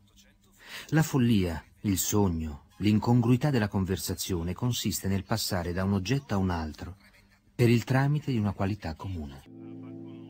Dobbiamo a un cronista di eccezione, Louis-Sébastien Mercier, la descrizione del divagare della conversazione parigina a ridosso della rivoluzione. Sempre più euforica, in preda a un delirio di onnipotenza, essa obbedisce soltanto più alla regola del piacere. Con quale leggerezza si sballottano a Parigi le opinioni umane, ma soprattutto con quale facilità si va da un soggetto all'altro, e quanti argomenti si passano in rassegna nel giro di poche ore. Bisogna riconoscere che a Parigi la conversazione si è perfezionata a un punto tale che non vi è esempio simile nel resto del mondo. Ogni battuta assomiglia a un colpo di remi, insieme leggero e profondo. Non ci si ferma a lungo sullo stesso oggetto, ma vi è una tonalità di fondo che fa sì che tutte le idee rientrino nella materia di cui si parla. Il pro e il contro vengono discussi con una rapidità sorprendente. È un piacere delicato che può essere solo appannaggio di una società estremamente raffinata, che ha stabilito delle regole sottili e a cui non si viene mai meno. L'uomo che, in aggiunta allo spirito, non possiede questo tatto, è ridotto al silenzio come se gli facesse difetto l'udito. Non si sa per quale transizione veloce si passa dall'esame di una commedia a discutere dell'insurrezione americana, così come si parla contemporaneamente di una moda e di Boston, di un fatto di cronaca e di Franklin. La concatenazione è impercettibile, ma non sfugge agli occhi di un osservatore attento. Per quanto distanti, i rapporti non sono meno reali, e se si ha l'abitudine di riflettere, non ci si può non accorgere che ogni cosa è collegata, che tutto si tocca, e che bisogna avere una moltitudine di idee per partorirne una buona. In morale come in fisica, i raggi riflessi si illuminano di luce reciproca. Ma alla fine del Settecento i salotti non erano più delle arcadie felici, delle isole fortunate, come al tempo dell'Hotel de Rambouillet. Erano diventati dei centri d'opinione e dei luoghi di potere con cui l'autorità regia, sempre più debole, doveva fare i conti. Era necessario frequentarli per fare carriera. Ed è così che l'abbé de Périgord, il futuro principe di Talleyrand, incominciava la sua scalata politica. Sentiamo come ce la racconta nelle sue memorie. Andavo più o meno dappertutto, e anche per uno spirito poco portato all'osservazione, quello della gran società dei dieci anni di cui parlo era uno spettacolo davvero singolare. Le pretese avevano sovvertito tutte le regole dell'etichetta. Delille pranzava da Madame de Polignac con la regina. L'abbé Balivière sedeva al tavolo di gioco con il conte d'Artois. Il gioco e il bell'esprit avevano livellato tutto. Le carriere, quel grande pilastro della gerarchia e dell'ordine, erano sovvertite. Tutti i giovani si credevano idonei a governare. Si criticavano tutte le decisioni dei ministri. Tutto ciò che facevano personalmente il re e la regina veniva discusso e incorreva quasi sempre nella riprovazione dei salotti parigini. Le giovani donne parlavano con pertinenza di tutti gli aspetti dell'amministrazione. Sarà sempre Talleyrand a ricordare nelle sue memorie come in quegli anni intorno al 1780, quegli anni, come dirà lui stesso, in cui mai il piacere del vivere era stato così intenso, sarà Talleyrand a ricordare, dicevo, come la febbre della politica si estendesse a tutta la società. La conversazione era ormai diventata critica aperta al governo, contestazione, complotto, senza per questo perdere la sua gaiezza, la sua leggerezza, la sua eleganza. Sentiamo Talleyrand. Mi ricordo che a un ballo, tra due controdanze, Madame de Stael insegnava a Monsieur de Surgère cosa fosse il dazio. Madame Blot aveva un'opinione su tutti gli ufficiali della marina francese Madame de Simian trovava che non bisognava tassare i tabacchi della Virginia. Il cavaliere de Boufflers diceva che la Francia avrebbe ripreso la sua preponderanza politica solo abbandonando l'alleanza dell'Austria per quella della Prussia. Al posto del re io farei questo, diceva Monsieur de Poix. Al posto del conte d'Artois direi al re quest'altro, diceva Saint Blancard. Presto le luci si sarebbero spente nella grande sala da ballo dove l'aristocrazia francese stava conducendo la più brillante delle sue stagioni. Prigioniera del suo immenso, smisurato potere, la conversazione tradiva la sua vocazione all'intimità, alla felicità privata e lavorava alla propria rovina. Presto, infatti, il monopolio della parola sarebbe passato all'oratoria pubblica e non vi sarebbe stata altra conversazione che quella collettiva all'Assemblea nazionale. Nell'epilogo sanguinoso e tragico che avrebbe portato alla sua stessa soppressione, l'ordine dei privilegiati rivelava però la forza della sua civiltà. Privato di tutto, salvava lo stile e con lo stile salvava l'onore. Ippolito Taine lo ha ricostruito in una pagina famosa. In prigione, uomini e donne si abbiglieranno con cura si faranno visita, terranno salotto, magari in fondo a un corridoio, tra quattro candele, ma scherzeranno, faranno madrigali, diranno delle canzoni, avranno ancora il puntiglio di essere non meno galanti, gai e aggraziati di prima.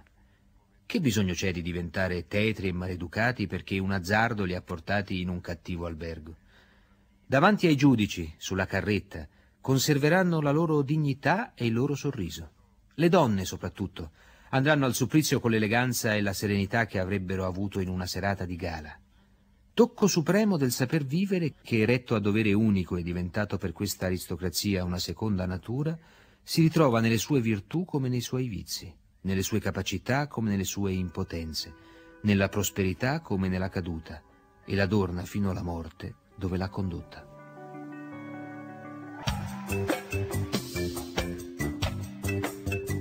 Alle 8 della sera. L'arte della conversazione di Benedetta Craveri. Letture di Luca Zingaretti.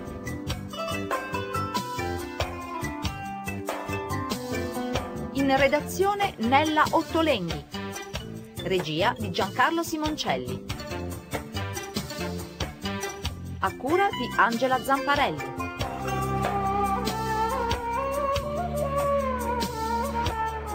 alle 8 della sera chiocciolarai.it Per riascoltarci www.radio2.rai.it